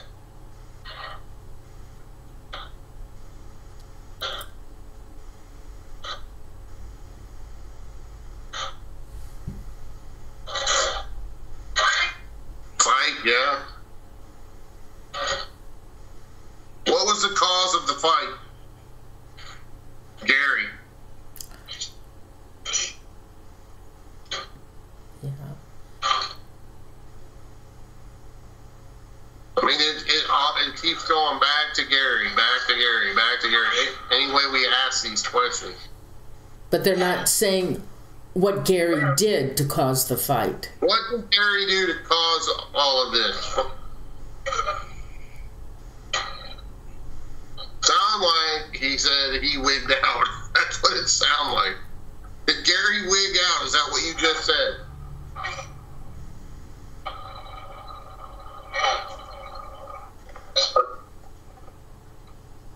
You were what? I said I was something. I killed.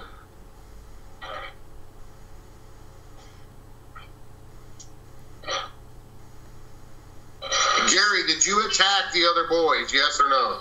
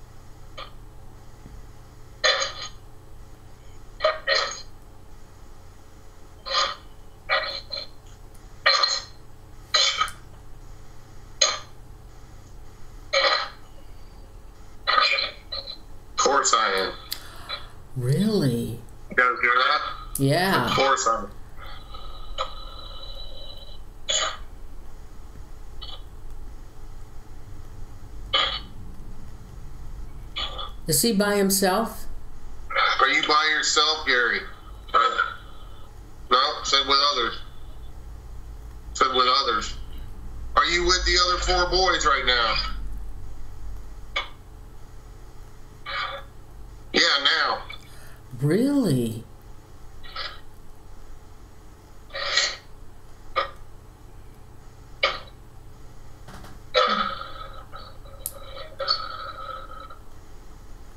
Another, a different voice just said, "We ain't pissed." Wow. Are you other boys mad at Gary or no? Did you forgive him?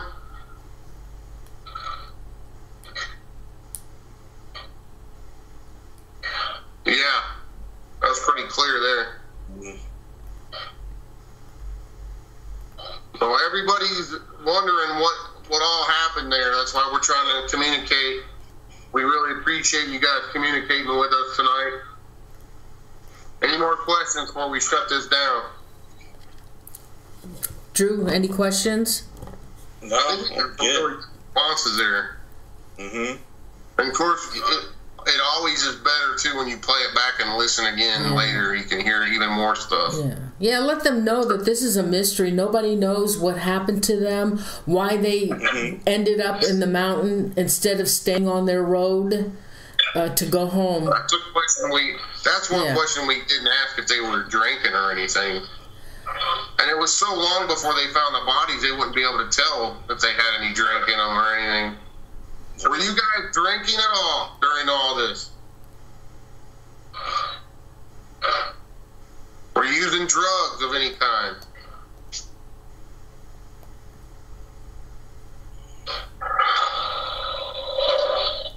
Hmm, that's weird. Was there any was there any kind of alcohol involved?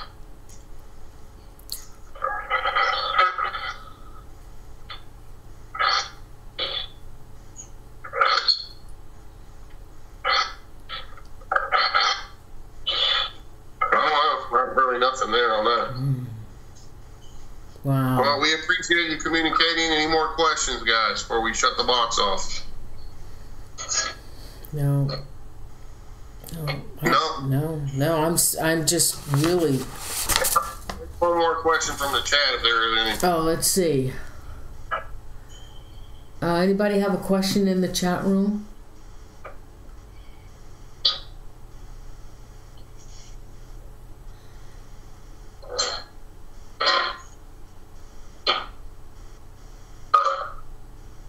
Hello.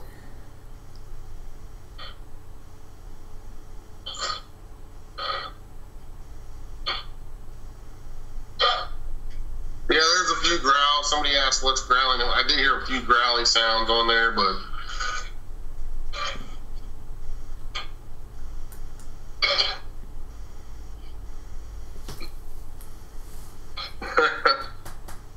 somebody asked. We're not on the Zodiac case tonight, guys. yeah, they want to know. No, I don't think Gary was in Vietnam. He was in the army after the Nam era. He was too young.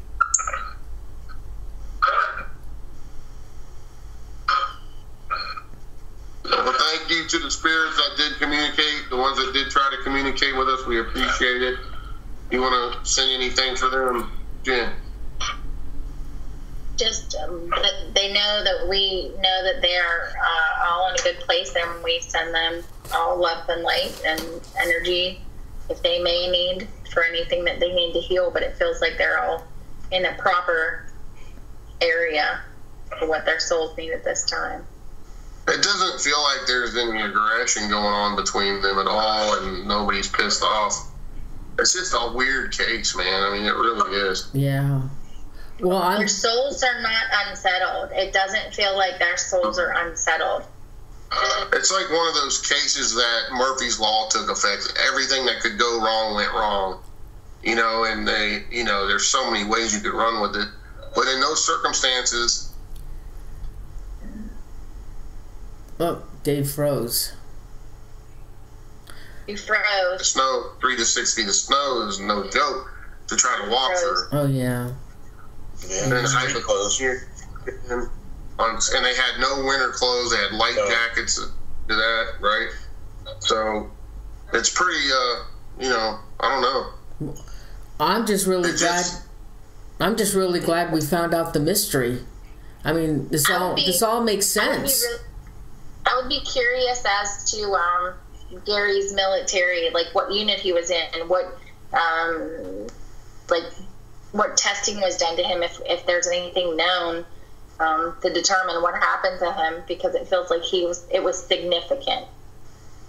Did you look up his military records at all, Drew? Because that's public I mean, he- information. Yeah, I mean, he was in the army, um, and I think he was able to find uh, illicit drugs in the army because there was other guys there that would get drugs, Yeah. you know, illegal illegal drugs in Germany. Yeah. Yeah, it's very easy to go to Amsterdam and all that from there. Uh, I know because I was over in Germany. I've seen it all over there, man. You can get all anything you want. Yeah, I think that he found some uh, hardcore drugs over there that some other guys were turning them on to, and that mixed with his schizophrenia really made him lose his mind. And it seemed like I don't know. I mean, it's just my feeling, and you guys can chime in on yours if it differs or it's the same. It seemed like everything led back to Gary to me. Yeah. You know, everything Yeah. seemed to be Gary was the catalyst, some way, somehow. Yeah. And I, have been, that's exactly what I saw. Pretty good responses on there. I mean, we got his name numerous times. We got stuff that pertained to that situation and everything else. So Well, with that reoccurring dream he's had, and I don't know how many years that was going on, it was like a premonition as to what what happened. So he obviously reported that to people, right? Uh, his He told- or family or Yeah, he did. He told. He knew about it. Yeah, Yeah. that's why he got medically discharged. So if Gary's having dreams like that, chances are he probably is a little bit more psychic than the average bear. So I mean, it's not too far fetched to to think maybe he had some kind of possession and or attachment with the psychotic break that he did have. Yeah. And what do we know? What do we talk about, Jen, all the time with uh, people that have abilities and they get misdiagnosed and they're given all these extra drugs that they don't need, you know? Um, and, you know, we know people that do have abilities sometimes do have um, various um, diagnoses of different things that, and they just want to fill you full of pills, basically, or give you these drugs because they don't want to deal with the uh, actual situation that's going on with that person. He was saying the word altered, and I, well, he was saying alter, and I thought he meant altered from drugs. He could have possibly been referring to an alter, like an alter ego, like an alter, like somebody would have like dissociative Like identity disorder. Yeah, like it would be an alter personality. So, you know, that could mean two different things. Interesting stuff. Yeah. That was great. That was really great. Thanks so much. Um, Yeah, you Now, guys. now I want to go read about what the heck actually happened. Buy Drew's book. Get Drew's book. I Highly It's- recommend this book. I, I was Like gonna Tony Wright's new book. Where can we get that? give, your, give that. This is my friend's new book. This is the Bible on the case now. My friend Tony Wright's new book. Oh, Uh, cool. Things aren't right on Amazon. Yeah, it's my friend's book, but it's uh, just came out a few weeks ago. It's great. Awesome. I'd like to see Plug what I felt and read and how it compares. Mine's on there too. Can't miss it. Just type in Yuba County Five. Uh, both of them will pop up. Yeah. Jen's got a book. I've got several. well, Your book, Jenny. Drew, now you can tell your friends. you can tell your Yeah. friends about. Tell them to listen to this show. Yeah, absolutely. He will. That's awesome. So, uh, That was what else good. you got, Norene? Oh God, no, no other cases tonight, but I do have some other cases. Two hours. I do have some other cases. There's a Summer Wells. uh, who disappeared up by the Appalachian Trail. That's where the family lived. But there's more to this case than meets the eye. That's one. Then uh, Dennis Martin, also up in the Appalachian Trail. And I know uh, Drew has some. Yeah, Drew has some cases too. I don't have anything scheduled for the next two months for you guys, so um, I had forgotten. You know, I was trying to get guests and trying to fill the spots, and then I forgot about us. I forgot, and this is gonna kill me. I can't change anybody now um, unless we fit in an extra show. I'll have to get with you on that because uh, I know the viewers. This is, I mean, this is my all-time favorite kind of show. This is, this is, this is, this is my favorite. I mean, I would do this every week, every, every other week. This is all I care about, really. Um, I'm not really into Dog Man. Oh, sorry, Dave. sorry, I take that back. we got a lot of cool stuff upcoming, and in case you guys are interested, um, Jen and I are doing a, a, thing we call ethereal excursions now, where we take people to haunted locations with us. We've been doing it for two years, but we now officially gave it a name. Um, Jen does a cold, takes people through the location, does a cold read with them, and then they can investigate with me and we do all kinds of fun stuff uh, at various locations around the country. So um, if you look at our ethereal excursion pages on Facebook, you'll see upcoming locations we have planned, and we're always adding more. 2025, we're actually doing an unexplained cruise with Norwegian Cruise Lines up the East Coast from New York City all the way to Nova Scotia. We're taking folks to the Titanic uh, burial ground where all those ones that died, they got the that they did recover bodies that they buried. We're taking them there and doing a ghost hunt with them, oh. and then several other excursions during the trip. And each night it'll be uh, one of us speaking on the ship. Uh, be me, Jen, Eric Altman, and uh, Ron Murphy. Um, so you can get on our pages and look for how to book that cruise if you um, it's going to be a lot of fun, man. It's wow, going to be awesome. So, that's um, crazy. Um, we've already booked numerous people on this for 2025. So the cool thing is with that too, you can just put a down payment. You don't have to pay it all at once and pay as you go. So you got a whole year, more than a year, to pay it off. So they said, "I'll come with us, and we can talk about all these things up on the promenade deck, deck right? Like on the top yeah, of the ship." Yeah, and doing a gallery reading one of the nights too, and doing other readings for folks on the ship and then we're going to go to do some haunted locations, talk about cryptids, UFOs, the whole nine yards, all the way up to East Coast. So it'll be a lot of fun oh, if you're oh, interested yeah. in that. Um, numerous events coming up for both of us. Um, uh, other than Ethereal Excursion, I'll, I'll, be speaking at conferences around the country this year, as usual. Um, we'll be at Gettysburg Battlefield Bash and so many other ones. Just look on our stuff, you'll see all the places we're going to be. We'll be posting that here real shortly because I start mine. Jen's already doing stuff, but I start mine in uh, March. So we post all the time where we're going to be and what's going on. So we'll be at the uh, Bigfoot Camping Adventure in PA this year at Eric Altman's event and so many others. It's going to be a lot of fun this year. Big year again. Oh, uh, oh, we have Halloween weekend at Octagon Hall. It'll be the weekend following Halloween um, November 1st and 2nd. We have Flatwoods Monster Convention uh, September 14th, I believe, right, Dave? Yep, yep. Big, big stuff happening. A lot. Oh, yeah, you've got a lot yeah, happening. Yeah, we put that one on, and I'll be at Mothman Festival, of course. Again, every year there, no matter what. I don't think I'm speaking this year because they rotate us every two or three years now, so um, but I'll definitely have a table there selling my books and whatnot. But a lot of cool stuff coming. Yeah, I have questions on Mothman I need to ask you, Dave, because I did a show recently and I'm not satisfied with what I heard. So I need mm. to talk to you about it. Um, okay. Okay. Dave uh, has, a, has a new Mothman. Well, I am a West Virginia native and I'm probably one of the most well known people to talk about that topic, so. I know. You're gonna give her a little leak. Only one that would probably be better than me on that is uh, Jeff Wamsley because he owns the Mothman Museum. So, I mean, he's he's the man when it comes to the man. Yeah, well. but I do know quite a bit. I've I've actually got a book coming out later this year. Uh, that's called Beyond Mothman, and it's all about my investigations in Point Pleasant and the Mothman and, and many other topics up there. because that town is super crazy with everything. Yeah. Oh yeah, Dave. You there's you're the you're the one to ask about all this stuff because you're you're really knowledgeable, and so is Drew. I mean, Drew is a, an amazing, amazing, and and Jen. Oh my God, Jen, we are so lucky to have you. You can thank Dave for that.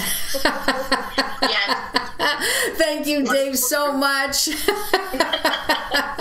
oh my God, we love you guys. We love you guys. Um, Dave, we need to book a show. Just you know, us. So um, anyway, I'll get I'll get with you, Jen and Dave. We'll talk about another show. Drew has some unsolved uh, cases. He, he uh, missing people that he wants to talk about. I have some as well, and uh, probably some other kind of cases as well. Guys, thanks so much for being on the show tonight. Uh, it was oh my god. You you guys are awesome. I just Thanks, love guys. you guys. Thank you so much. You're my favorites. Thank you. Thanks, Thanks, Norene. Norene. thanks. Thanks. Have a bye. Love you. Nice love Good you. night, guys. All right. bye. Bye bye. oh god. Let me go over here. Oh, that was great. Oh my God, I love them. Um, thanks so much, everybody, for joining the show. I'm so glad now.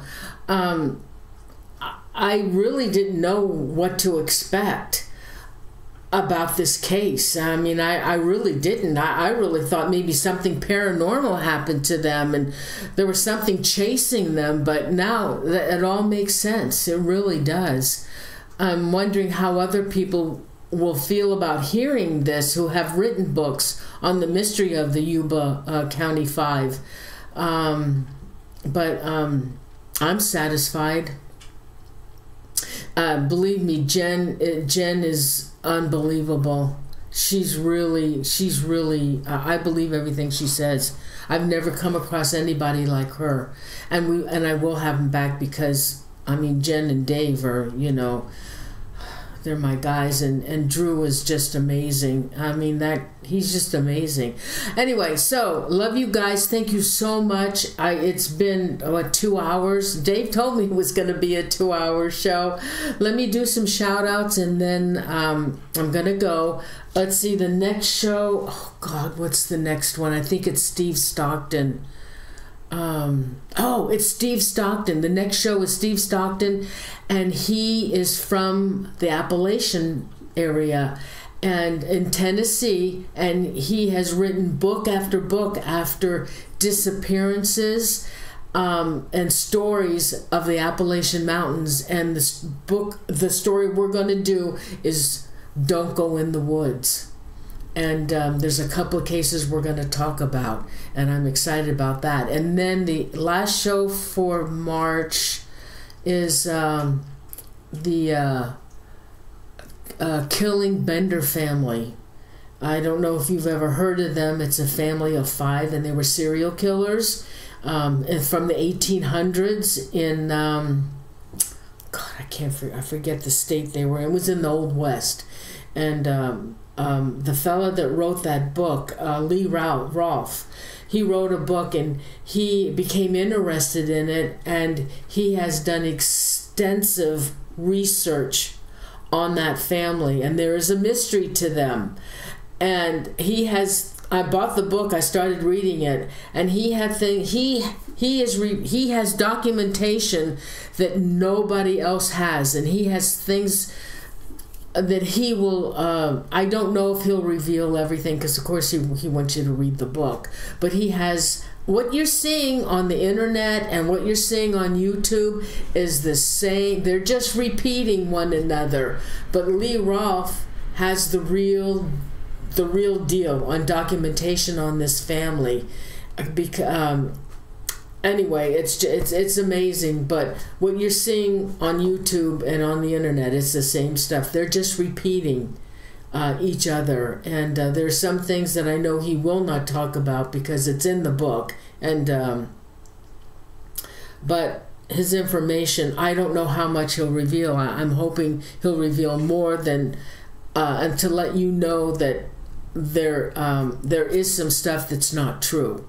Anyway, so those are the two shows for March, and uh, unless I can throw in an extra show uh, with Dave and um, and Jenny and, and Drew too. I, I really enjoyed Drew. Anyway, so guys, let me do some shout outs. It's getting late. Um, I missed my basketball game, but it was worth it. So let me go back up here.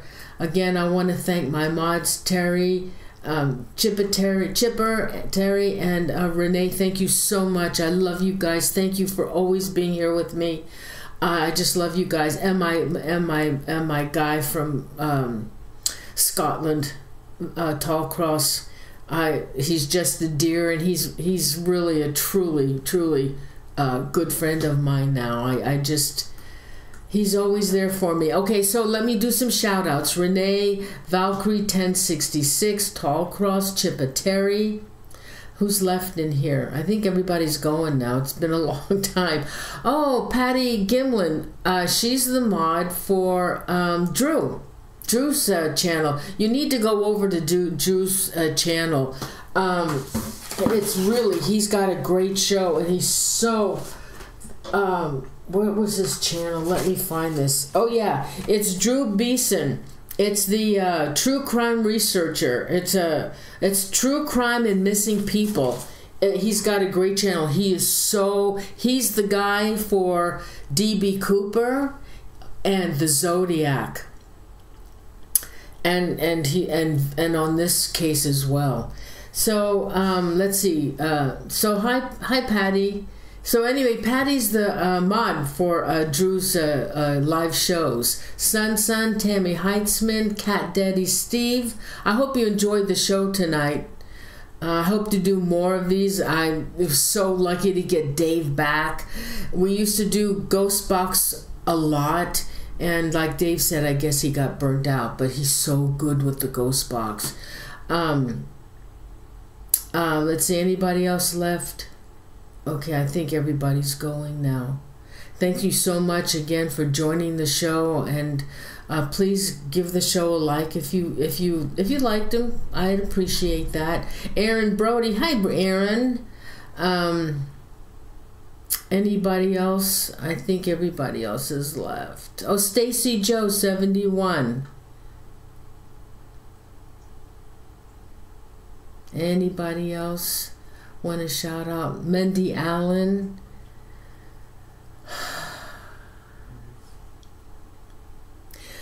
Oh, I don't know if you're still in the chat, Mendy, but they were found all over. Couple of two of the bodies were close to one another but um, there was only five. Gary was missing, so and the other one, Ted Weiher, he was in the trailer, so the other three scattered.